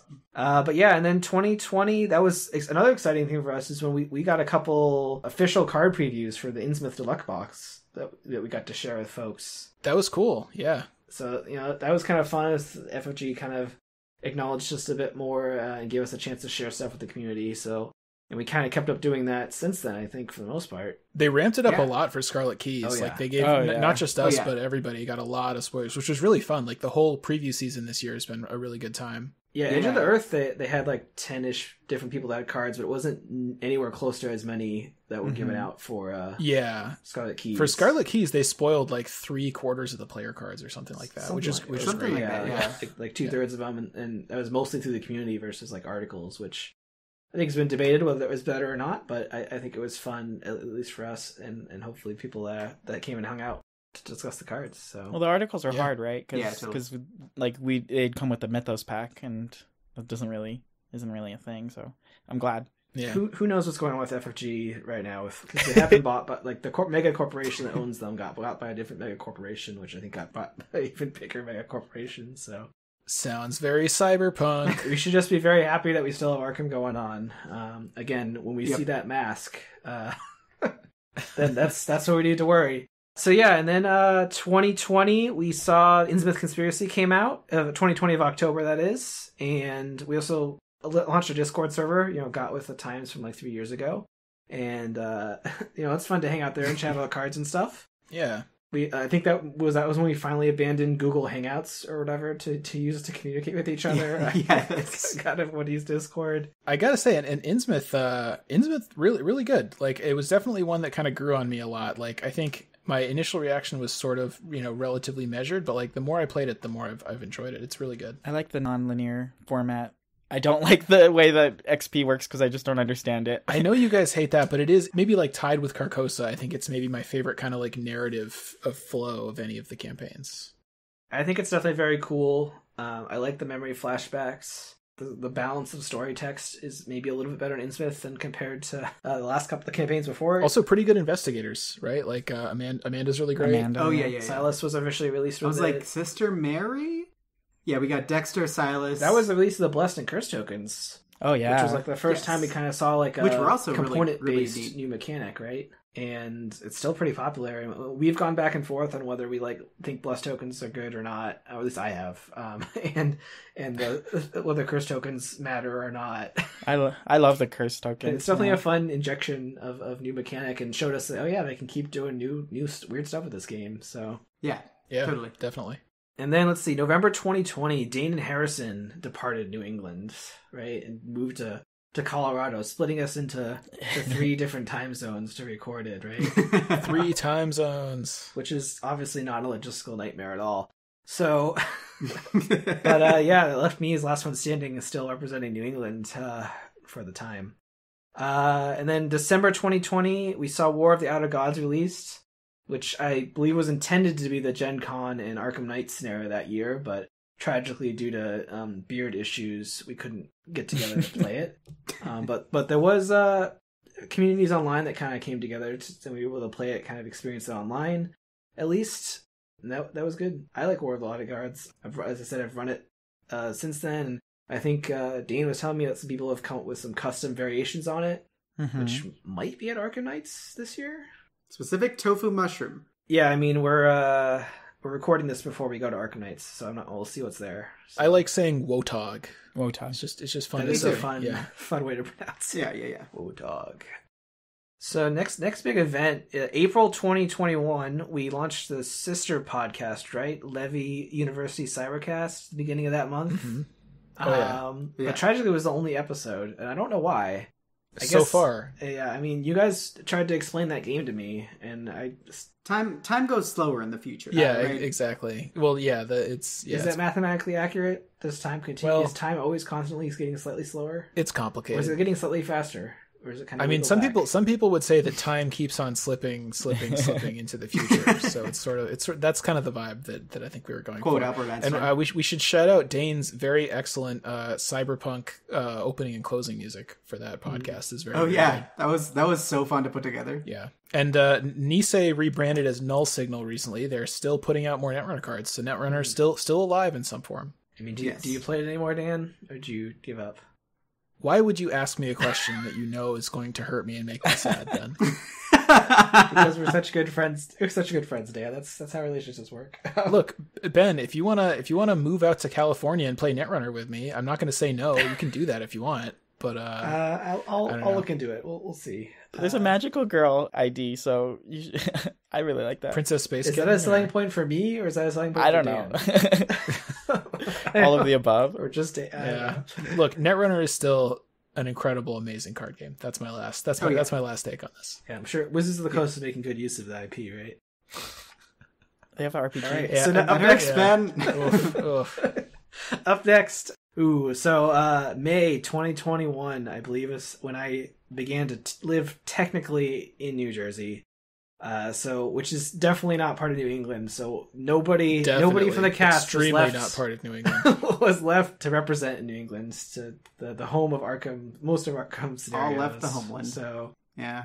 We have Colin uh, still in the area as kind of a mascot. that's true. He is still You in know? Boston, and he's been he's been on the podcast now. So There you go. I, I might move back there next year or the year after or something. Oh, we'll see. okay. So You know, maybe maybe we'll bring it back. Maybe we can bring it home eventually. Uh, I see September 2021. Harrison committed to the Arkham for life. Uh, we got a tattoo, right? You want to talk about that? It just says Arkham for life. so like I've never like all my tattoos I've only ever thought about for like a day or a week. So uh, I didn't really think about it that much, but I super love. I mean, I like playing rogues, so I got a. I mean, I'm showing you, but I'm I I got a rogue tattoo on my forearm, and uh, it's usually pretty fun to go to conventions and see if anybody recognizes it. Yeah, it's just a picture of Skids' face, right? Yeah, See, I, I, I assumed that you'd been like arrested and locked up for something, and like your cellmate Skids O'Toole had like given you that ink as like a I don't know, you know. that's that's a lot more of a hard story, like a harder, more metal story than like this is a niche card game that like that I've been playing for I know. Yeah, yeah, yeah. yeah. when I play with Dane, I'm usually a guardian, and um, unfortunately, uh, just because of some political things, I don't really want a giant big blue police police badge tattoo on my forearm. So I decided not to do that. But I really That's like. it. Good choice. Good choice. I have the Seeker logo tattooed uh, on my brain, which is the most secret part of my body. So no, no one, no one can see it externally, but it's there. Oh boy. Yeah, so uh, and then October 2021, a couple bigger things for the game. We saw the release of the revised core set, um, which was the kind of Yay. the, the herald for the the upcoming change in the Arkham release cycles. But that got more people into the game. It had a more reasonable uh, way to buy a product. You didn't have to buy two copies of it for no reason I know. uh, to be able to play. I was gonna say that changed that changed everybody's first take on the on the core set, which was I need another box. now it's I have the box. It's there's a lot of space in it. There's an extra chaos bag in it. You know, there's a lot of stuff. In New that. art for a lot of classic cards. Yeah. yeah. a first player to, or a lead investigator token. Oh, yeah, Dane- which was never in the game before. And it, it- they also they took some cards from other Mhm. sets that we kind of feel like are staples and threw them in there, like Relic Hunter and Charisma and such. And there's some other ones, but uh, yeah. So that, that was a good refresher in the game. It was also like one of like uh, twelve times that Dane has declared, or Dane or Harrison has declared the game was dead. It's Because-. That's that's what happened before Netrunner was canceled, right? They released a new revised core set or something like that. Right. But we're we're still here. Trauma. At least one year later. One thing I appreciate about the core set is that you know they reimagined what the investigators look like, Hmm. and they're actually starting to use like uh what was that? What's that? I'll take this card. Used uses the new art skids in it too. So um, Oh yeah, things are evolving. Yeah, I mean, they might have run dry of their uh, st- pile of stock art, so they're using mostly new art for things these days. And I feel like they're nowhere close. That's a still. that's a fun idea for a stream we could do would be to like find art from previous Arkham Files products that hasn't been used yet in this Uh, game and try to guess what card it could be. yeah, actually, yeah, they're definitely reusing art because I think the Scarlet Keys, I think there Oh, was yeah. a whole Call of Uh, Cthulhu cycle that yeah, Oh yeah. themed around Yep. that or something. that's what a lot yeah, of the 100%. a lot of the conspiracy theorists for Scarlet Keys have like pulled all the coterie cards from Mm. from that cycle. And, uh, So maybe they maybe they haven't run dry yet, but you know when they do get new art, I think they ca- you could tell there's the newer models on there. Still haven't decided what Wendy looks like though. I don't think. I think pretty sure she looks different every single card. She's somewhere between ages six and sixty. Who knows? Uh, officially an alien at this point. Just like a, um, in some amalgamation that's constantly between the ages of nine and thirteen. maybe is there some type of Cthulhu creature like a doppelganger? Maybe that's what Wendy is this whole time. She's Mm. just some type of shapeshifter. I mean, Amanda's kind of a fish person, maybe. So maybe Wendy's Yeah. something like that. Yeah, I could definitely see that. So the uh, other thing in October, Arkham Nights came back. It was kind of more a little bit more of a limited event. Like I think they cut the number of people that could go in half because it was it is was still um you know beard times, right? We're still trying to get that sorted out. Um, so they they tried to keep people spaced out. I ran a Wotog event there. Uh, as mentioned, I used the correct number of props when doing that. And then we, we did the trivia contest. There was no colonists there here and no Harrison. Um, we were very sad that we had no Harrison because uh, he's he's like obscure Arkham lore trivia expert. Uh, we texted him all the questions afterward. I think he got like 19 out of 20 or something. he got he got all he we would have we definitely would have had Was it like So, if he were Dainty Donahue's guns? I think that's the one. And there. Yep, unfortunately, that I don't them. think he or Dane are making it this year to Arkham Nights. So uh, we'll have to we'll have to find someone. I'm else trying to I'm trying to decide if I should like take it take one for the team and rapidly read all of the novellas before we go. Just just just so I'm ready for this. Probably not. Probably too much other stuff going on. Nah, that's fine. Uh, They're fun. Wasn't the other thing that premiered at this Arkham Nights was Unfathomable, right? Uh, Unfathomable released in 2021. I don't know if it premiered at Arkham Nights, but it was the first time it was at Arkham Nights. Um, Okay, okay. It might it might have been. It might have had it there as a preview actually. you came back with unfathomable. I think they did. Yeah, yeah.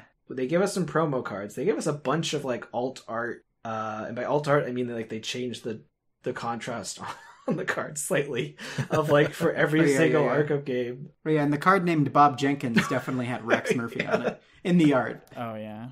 Good The times. Arkham Nights 2021, I got the impression they had to throw together like two weeks ahead of time, and like nobody told anybody anything, including anyone that wanted Oh, wanted that's to right, because they didn't reach out to anybody. Yeah, Like, until like two weeks before. There's like a I- an 80 90% chance they didn't tell anybody until they they released the article.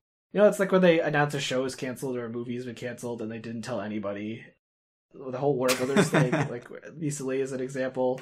Where the and then it's like, Yeah. oh, we got to find out it was canceled. Oh, or it was happening at the same time everybody else did. That's what happened with Arkham I Nights. forgot about that whole aspect of it because we we had like this this shanty broken down little like apartment in like this college part of part of town that was just like I slept on the couch because like the the bottom of the bed that I was I I picked was like ripped apart and there were like probably like weird aliens Not living good. in it and it was wild. In retrospect I, I look upon those memories fondly because they embody the whole vibe of the Innsmouth conspiracy right?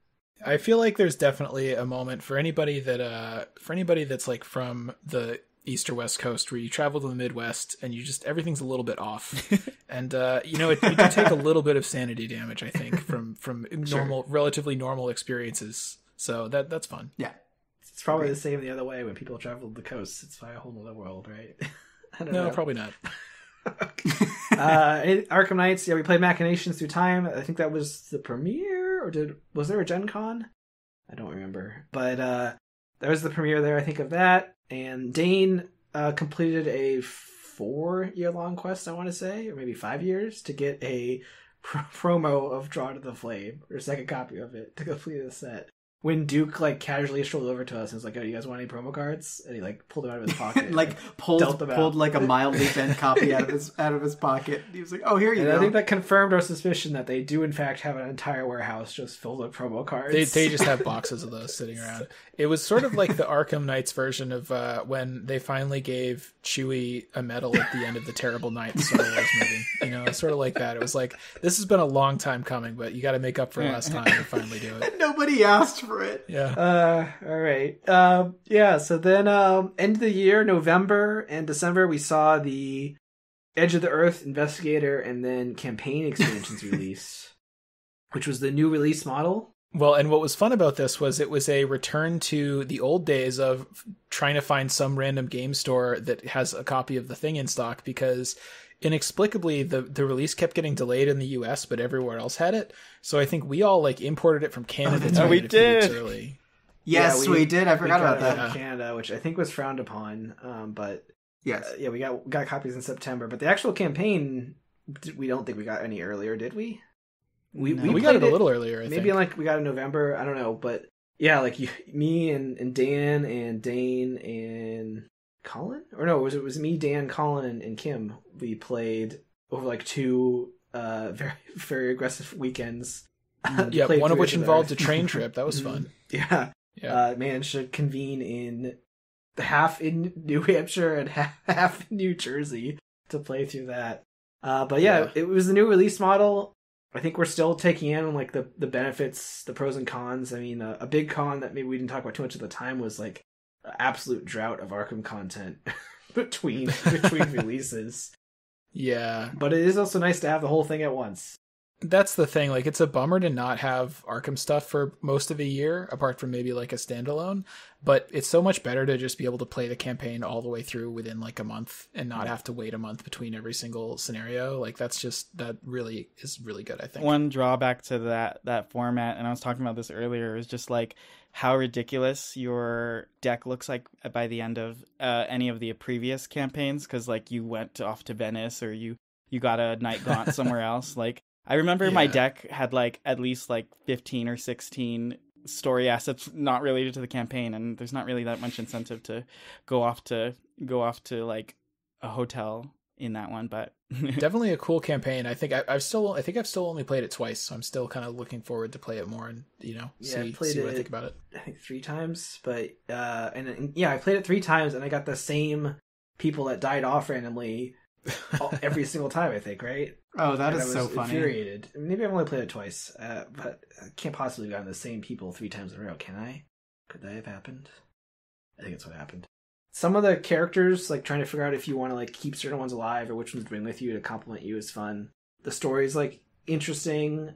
Obviously, we had already played uh, Tim's uh, betrayal at the Mountains of Madness, so we had something to compare it to Mountains of Madness wise. But up until then, we were desperate for some, some Mountains of Madness content officially. So, and they had interesting investigators in that uh, we can never ever remember what their deck is when we try to talk about them.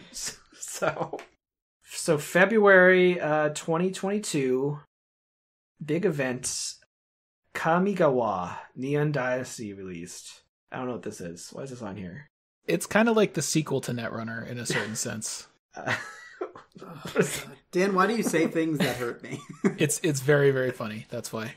Um, no, I, I don't know. I, I do just I find it really funny the way that like this was the kind of like fun punchline at the end of the whole like wait why did they stop making Netrunner conversation right because like that was a mystery for a while right and it's still kind of a mystery in the sense that there's no official explanation but like let's be honest we we know exactly why. Wait, so is this a Wizards of the Coast product? Yes. Yes, a- it is a it is a Magic the Gathering expansion set that is sort of cyberpunk themed. And the theory is that they were like, wait a minute, why would we let some other company make a cyberpunk card game using our IP when several years from now we're planning to make a single expansion for Magic, which is probably going to outsell every Netrunner product ever made at, at once, which it probably did. I thought FFG still has the Android IP, and it was They, just they have the, game- Android IP. They don't have the Netrunner IP.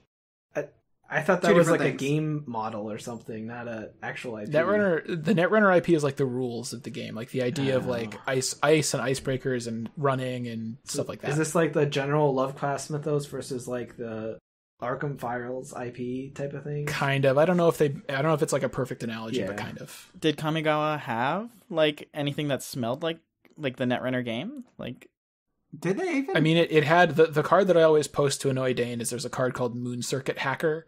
There's like there's there's like there's there's cards that have like vaguely chip and cyber themed kind of you know okay, I don't know but it's not like they had like a mechanic that was run, like make a run. Netrunner. yeah no there wasn't anything like that nobody actually really nobody actually really cares about this but i just think as as netrunner players i think it's extremely funny that this is how netrunner died like the thing that you really loved so much and thought was so cool got killed kind of like barely even intentionally as like a byproduct of a much larger corporation making something dumber you know like it's just kind of Yes. funny It seems like a nice right. analogy for for like the exactly cyberpunk it's it's very cyberpunk right like it was the most cyberpunk way for netrunner to die at the end God of the end damn of it. it. You're right. I'm sad.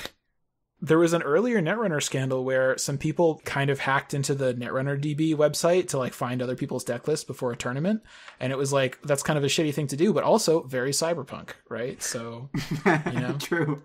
Uh, We saw a lot of changes in 2022 to the podcast. The the first of which was in April. Dane and Dan uh, temporarily were replaced by my friends Nick and Gemma. We we talked about uh, Pokemon for a whole episode. I think probably the best ever received episode. I assume I didn't look at any numbers, but um, yeah, it was a good time. I can't remember. Did did you temporarily rename it like some Pokemon themed name, or did it just keep Uh, the same name? I don't think so. I think I think I just said you guys got replaced, and we t- talked Yeah. about Pokemon for an hour.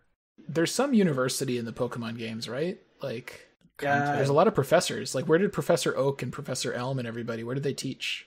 Ah, Pallet Town. Or where did they get their degrees? Research. I don't know. I don't know that much about their lore. No, we talked about like You're still talking about Arkham.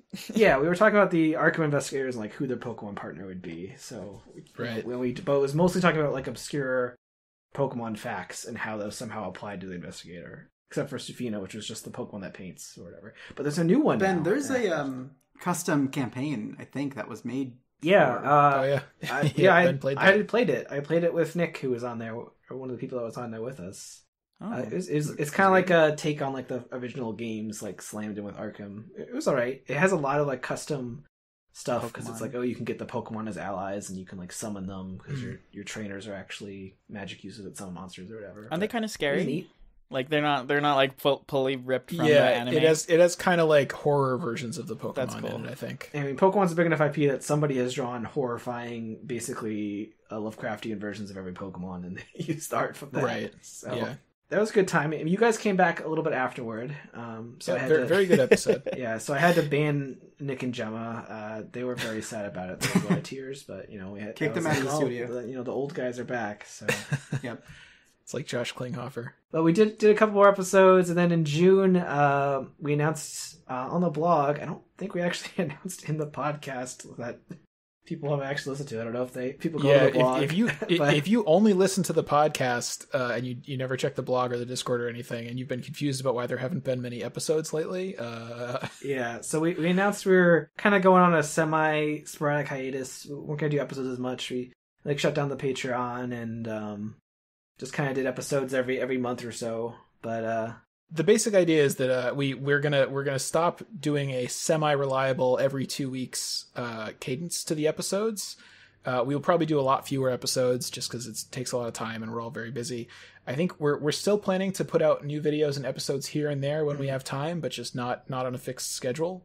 Um, and I think we're gonna keep MUR plays going also, right? Mhm. yeah, so I think it's just we're not doing episodes every two weeks. It might might be more official episodes Yeah. every month or so, or every two months as we as we do stuff. Yeah, basically just as we have time. Like I I think we're probably gonna do at least a couple of episodes about Scarlet Keys Mhm. stuff this fall, right? Yeah, Yeah, Yeah. I feel like this definitely came about, by the way, because like Edge of the Earth, the whole campaign model changed, Yeah. and we were like, "Oh man, we have so many cards to talk about. I don't know how to talk about this many cards." and then we were like trying to figure out the orientation of like how the episodes would look. Yeah. And then after that whole craze, and we like finally got out all those episodes, we were like, well, "What do we do now?" yeah, exactly. Like the new release model. So that was like the first thing. the new release model on balance is really good, but it definitely just made it tough for us because we had like a ton of new cards to review last fall and, and winter.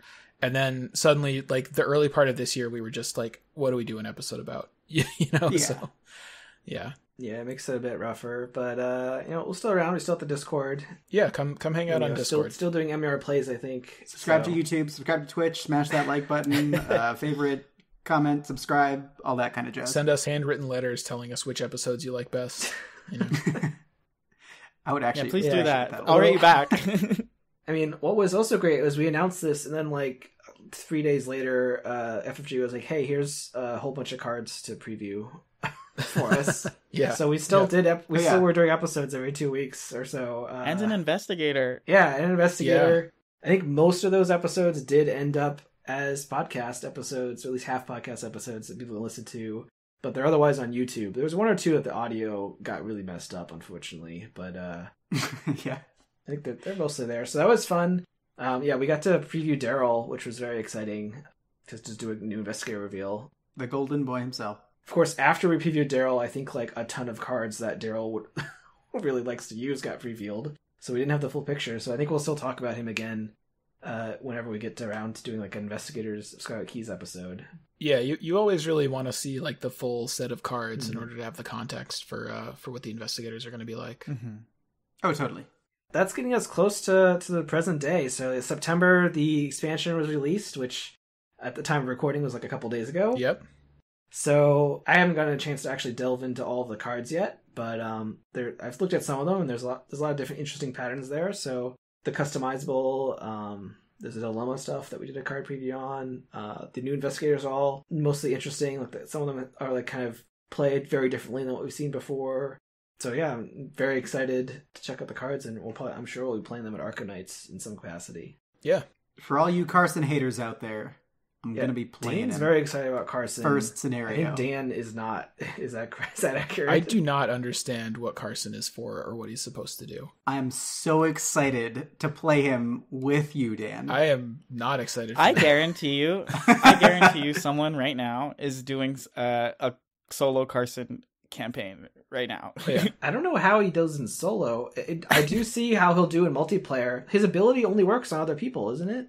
We- We'll talk about that later, I guess. But yeah, it's like the people that like beat Dark Souls staying at level one the whole time or something. It's very impressive, but it's also like Naked with like the club or something. you are not a normal human, you know, like if this is you, Oh, if yeah, you're yeah. listening right now and you have played a solo Carson campaign, just jump on our Discord and we'll send you promos or something. yeah, I, I'm interested to see how they all play out. I have to look at the full card pool. I, I mean, I don't think any of them are necessarily bad. Like Harrison and I have been playing Daryl and Charlie in Alice in Wonderland, and uh, the campaign's probably complete by the time this episode's out. And both of them have been very good. Mhm. Charlie initially was like, "Oh, this kind of seems kind of weird," but I- I think he's been doing very good. yep. So I'm sort of expecting the same thing from like Vincent and Carson and Kymani and uh, Amina. So we'll see how they play out.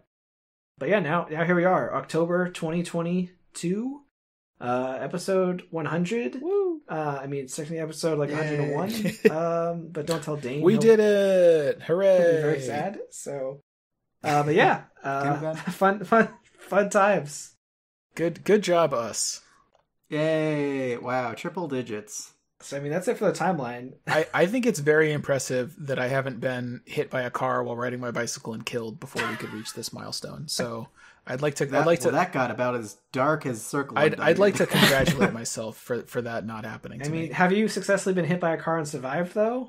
but you have. I know I- Ben. I Ben has survived it. Oh my goodness. Like, that's, What? that's a pretty important uh, tier to obtain in, in biking, right? But but you also you also gave up riding your bike almost immediately well, afterwards because my bike So- did not survive. The okay. uh, I've done a little bit of biking. I'm trying to get more into biking again. I have to buy a bike. Uh, Good you know. stuff. I, I told you like this summer we t- I tasked on I taught someone how to ride a bike. So, Nice, you yeah. know. Um, the knowledge. so it, we're, we're we're getting back there.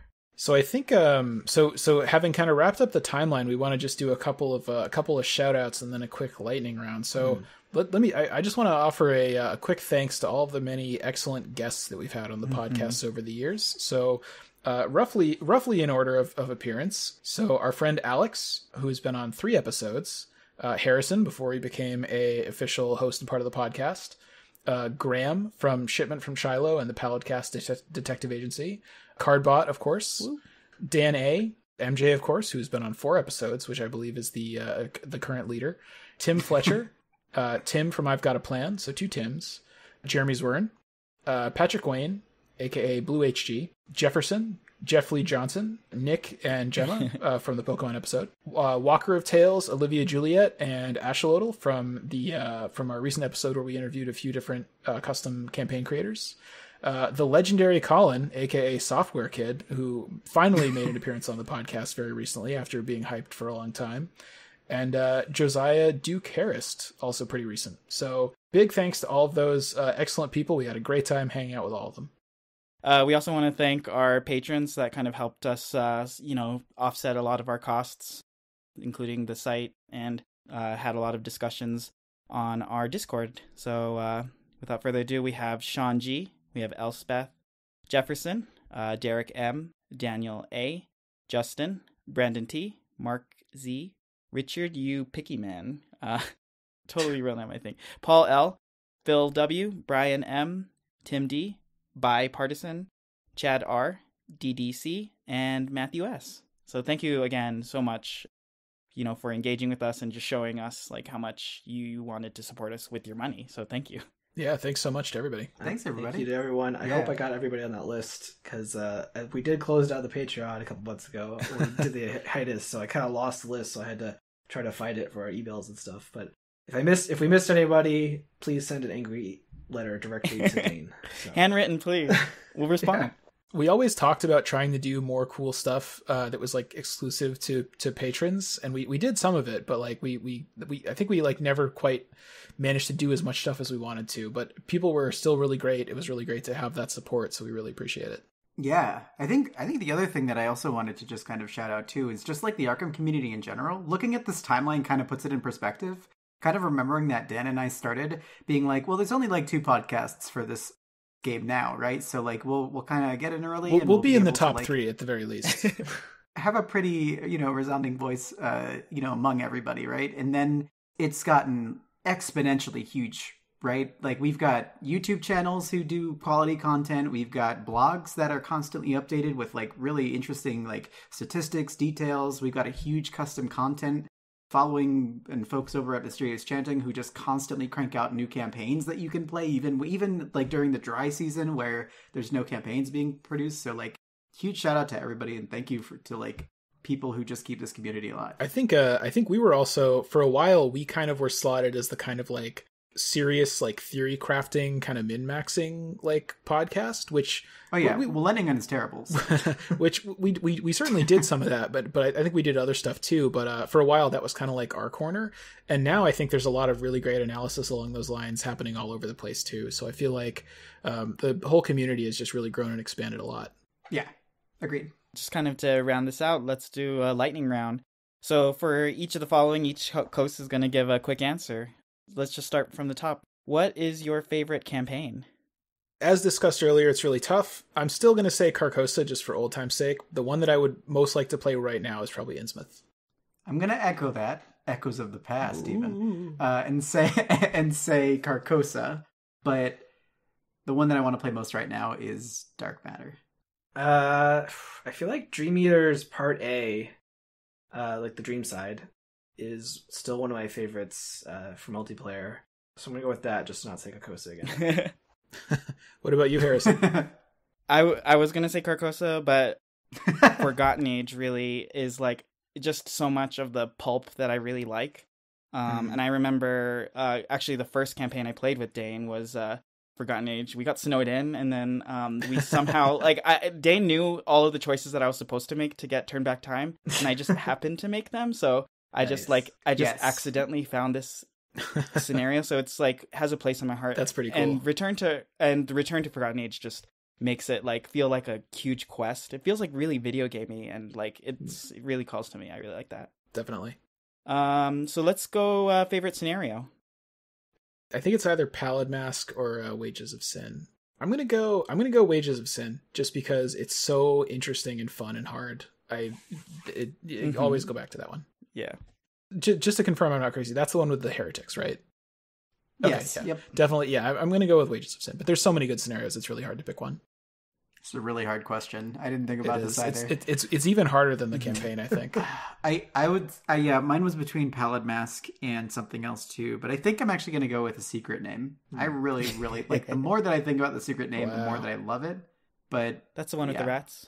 Rats. Secret Name is neat. I, I feel like it's not near my top. Uh, I'm trying to pick recent scenario. Uh, In Too Deep. That's the the the clue one, right? Where you have to figure out. Oh yeah, the one that Jeremy yeah, that that one I think has some of my favorite recent memories, which was like when Dane uh, successfully like guessed at like a 25 percent chance the correct combo. Oh, that was Yeah. no, no, that was um, that was uh, the vanishing of Elina. Oh, sorry. Yeah, yeah, Oh, yeah, that's a yeah. good That's one. also a good one. Second yeah, scenario. totally. That was Yeah. that was dude. Where's my Elina Harper? Right? Yeah, yeah, yeah. Vanishing. That one's really good. Uh, I liked most of the Winmores, but uh, yeah, so many good stuff. Good stuff. What about you, Harrison?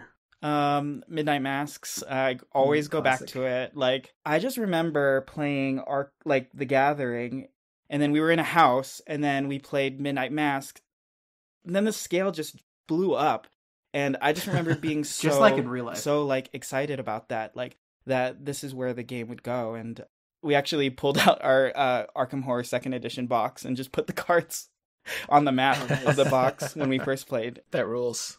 my favorite scenarios in general are the are the get as many as you can go and go. So Oh yeah, that's I mean that's kind of like a huge MUR thing, right? Like we all love the push your luck. Things. I'm very surprised and I would say proud that Dane didn't pick The Gathering for his favorite. So I I was pretty surprised, honestly. that's really good character development for. yeah. You've you've, you've really grown a lot, Dane. A- yeah. uh, There's more to life than just the gathering.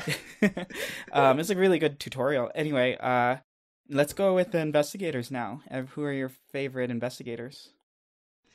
Well, my favorite investigator was recently very brutally attacked and nerfed into the, into the ground, really excessively nerfed, I would say. So I'm I'm not going to pick Mandy, even though for a long time it was Mandy. Um, I think I'm going to go with Amanda. Uh, she's maybe not. So I'm gonna go with well. I, I think she's not as strong as Daisy, and and maybe not as unique and strong as Mark, but uh, she's incredibly fun to play, and she just feels very unique.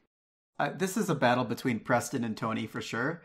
I'm not sure who wins. I'm gonna say right now, Preston, because he's so unique and he he is truly the money king of this game. I feel, other than Parallel Skids, I feel, but yeah. Uh, I mean, Zoe obviously has a big place in our heart uh, for for role playing and theme. Uh, I love Zoe. Uh, I think uh, I might might go with the MJ cop out of uh, the most recently thing I've played, which is Daryl. Daryl's been very fun, um, and that was I've been playing it without the new cards mostly, so I'm excited Hmm. to try him out with the new cards too. Yeah, I'll go. I'll go with Daryl. I'm I'm on team uh, cult cult of the Daryl. You know. So. I'm, Nice. I'm playing that deck with you, and I just love seeing you like move around the mini game. Like the the little Yeah. like, am I, are you gonna take a picture of this mini game? Is just so fun and thematic. So, I, good choice, Beth. I mean, it's like um, what's the what's the rogue card I'm not allowed to play that gets you one extra experience?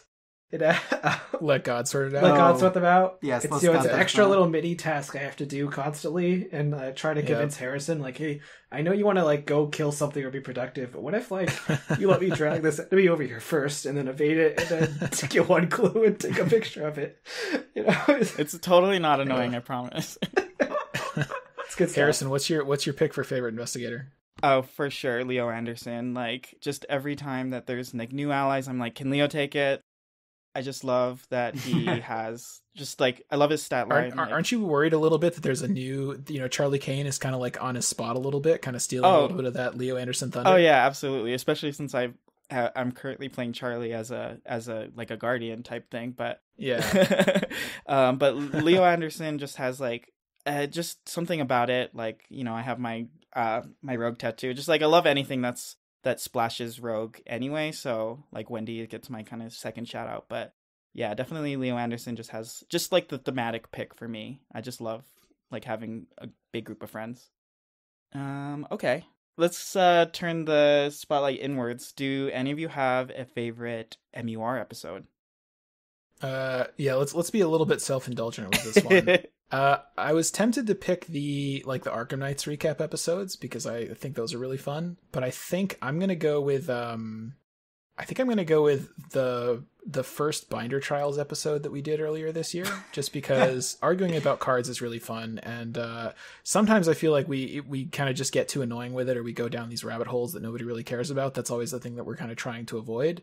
But uh, I think when we do it well, I think it's a really entertaining content for people to listen to, and I think that first Binder Trials episode was pretty fun. it actually is getting uh got a lot of like community feedback and i know somebody i know somebody i'm not going to call them out now but i think somebody is uh is is like writing up a rebuttal to one of the Yeah, yeah. You know, you know why it got a lot of fe- feedback because it had takes. That's what people respond to. That's that's how you get people to care about what you're doing. Is you you and you, custom theme. you throw a, a you throw a strong opinion out there and you see what happens. maybe we should do an episode about like people's people's responses to the binder trials but uh Sure.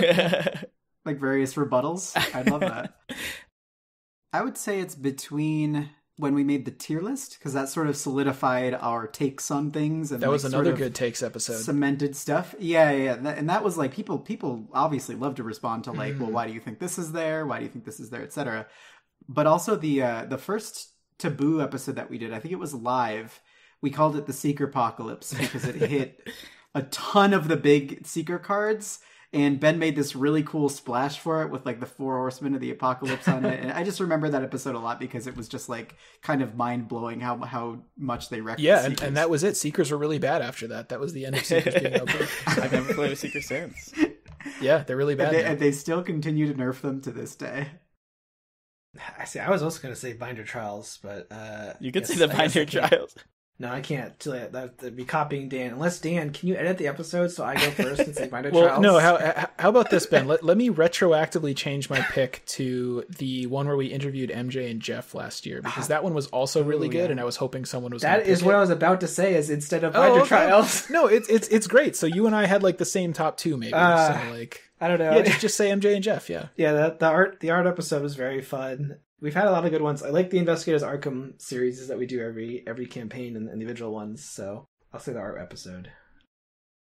for me mostly just because it's super self-indulgent but i really loved the uh the holiday riddle episodes Mm. like Oh, where yeah. where, Those are good. where we uh, just asked players to submit riddles for player cards and uh you know we uh i ran it like a jeopardy style with the three of you and uh it was really fun to just like get people to to submit questions and it was all it's really cool to see how like how people were creative with that and just obscure knowledge there was one of them was a was like a Thor, uh the lorak reference Yeah. Mm-hmm. that was great I was absolutely shocked at how many responses we got and how good they were. Like I I was not expecting anything like what we got. yeah that was great i mean they're all all the episodes are great but you know these are our favorites speaking of podcasts how about how about any shout outs for other podcasts or channels that people should should check out I would uh I, w- I would shout out um the playing board games YouTube channel. I think does they, they cover other stuff besides uh Arkham Horror the card game, but they do some pretty good videos that are sort of the sort of like card analysis style stuff that that we we talked about earlier and uh I would definitely if if, if you like those aspects of MUR, I would encourage you to check them out. Yeah, they're great. I think for me, it would be uh, the folks who make custom content at mysteriouschanting.com, also located in the Mythos Busters uh, Discord server under custom content. Uh, I'm talking about like Axolotl, The Beard, Tofu Mushroom, Dr. Jack Science, Olivia Juliet, Jack and Zon. All these folks who put like their heart and soul into making stuff for this game that don't get paid for it, and it's sort of this monolithic task. It it kind of gives my keeps my heart happy to know that this game will live on in some capacity after the inevitable end. You're so scared of the game ending like any day now. as, as, as long as you don't see a mask, we're still we're still good. We got there. I don't know who's who was convinced the game was going to end earlier, Dane and I, but every time something spooky happens, we're just like, oh, that's it. Yeah, Da- Dane has predicted the incoming end of the game like every uh, several times a year, like since it came out. Well, Harrison had a good point is that Daniela is always in the last set of something before that game stops. I think. MJ interve- in- interacted with that with that meme on Arkham Horror memes, and I was like, oh no, what does this mean? Yes. Uh, but I mean, we made it past Innsmouth. Yay! Uh, who was I? Gonna, I I was thinking uh, Optimal Play. They they've done the YouTube channels. They did. They had some fun previews for the spoiler season where they. Oh, the uh, pool just spoiler. like, Yeah, they, they- literally they just did hung the out video at in a pool. pool, Those are right? fun. They did all of their videos in pools, I think. I was like, Wow. missed one. Yep. Where they were just like, oh yeah, we're gonna hang out and uh, talk about this card, and I was like, oh, that, that's very fun and chill. So they, they seem like like cool people. I know. So I think they've been at Arkham Nights at least at least once. I think I I I don't think we Yeah. ever actually like got to talk to them, but I kind of saw them around. So maybe maybe we'll get to say hi this year. mm, yeah. Uh, for me, I would say, um, just more of like a thematic thing is just I love the HP Lovecraft literary podcast. Like they did, they do a lot of different sections on like all of everything HP Lovecraft has ever written. A lot of the Lovecraftian mythos. So like when we went into Carcosa, I listened to a bunch of their uh, the King in Yellow um, episodes and things like that. And um, you know they they do a great job. They have a lot of uh, voice actors that read read a lot of the the things, and they branch out into like Edgar Allan Poe and different things like that. So it really helps me like getting into uh, some of the campaigns um, to see like what the source material was like. So I'd pick them definitely. Nice. Yeah, obviously we didn't mention anyone involved in a blood feud because we don't want to pick sides there. But there's lots of, there's lots of good uh, good Arkham content out there. You know, you just have to go looking for it, or you can you know ask us for other recommendations on, on our Discord. Pretty active community on Facebook and everything, and everybody's so fantastic and welcoming, and they'll help help you direct you to the places you need to be. Well, so before we do the whole outro shtick, a very important piece of news. Ben and Dan are going to be at Arkham Nights 2022. Hooray! Hooray. Very very sad that very sad that you guys aren't going to make it. That that really sucks. But uh, we're we're excited to go. Yeah. So if you want to hang out, say hi, be sure to hunt them down. Speaking of hunting, they might even have some treasures in store for those who do. Hmm, what not- could that mean? It's not holiday riddle time yet, Dane. Yeah, this is some kind of. It's fine. Yeah. People will figure it out. Hmm. I mean, it's October. We can be a little spooky and ominous, right? yeah, there you go. so, friends, what does your Arkham uh, timeline look like? What's your favorite part of Arkham history? Let us know. Reach out to us, leave us a comment, or email us at comments at mur.fm. Follow us on social networks, including Instagram, Twitter, and Twitch, or join our Discord server to hang out. You can find links to all of these at social.mur.fm. If you really enjoy what we do, we always appreciate a nice review on your favorite podcast source. Thanks everyone for listening, and we'll catch you next time. Bye, everybody. Bye. Bye.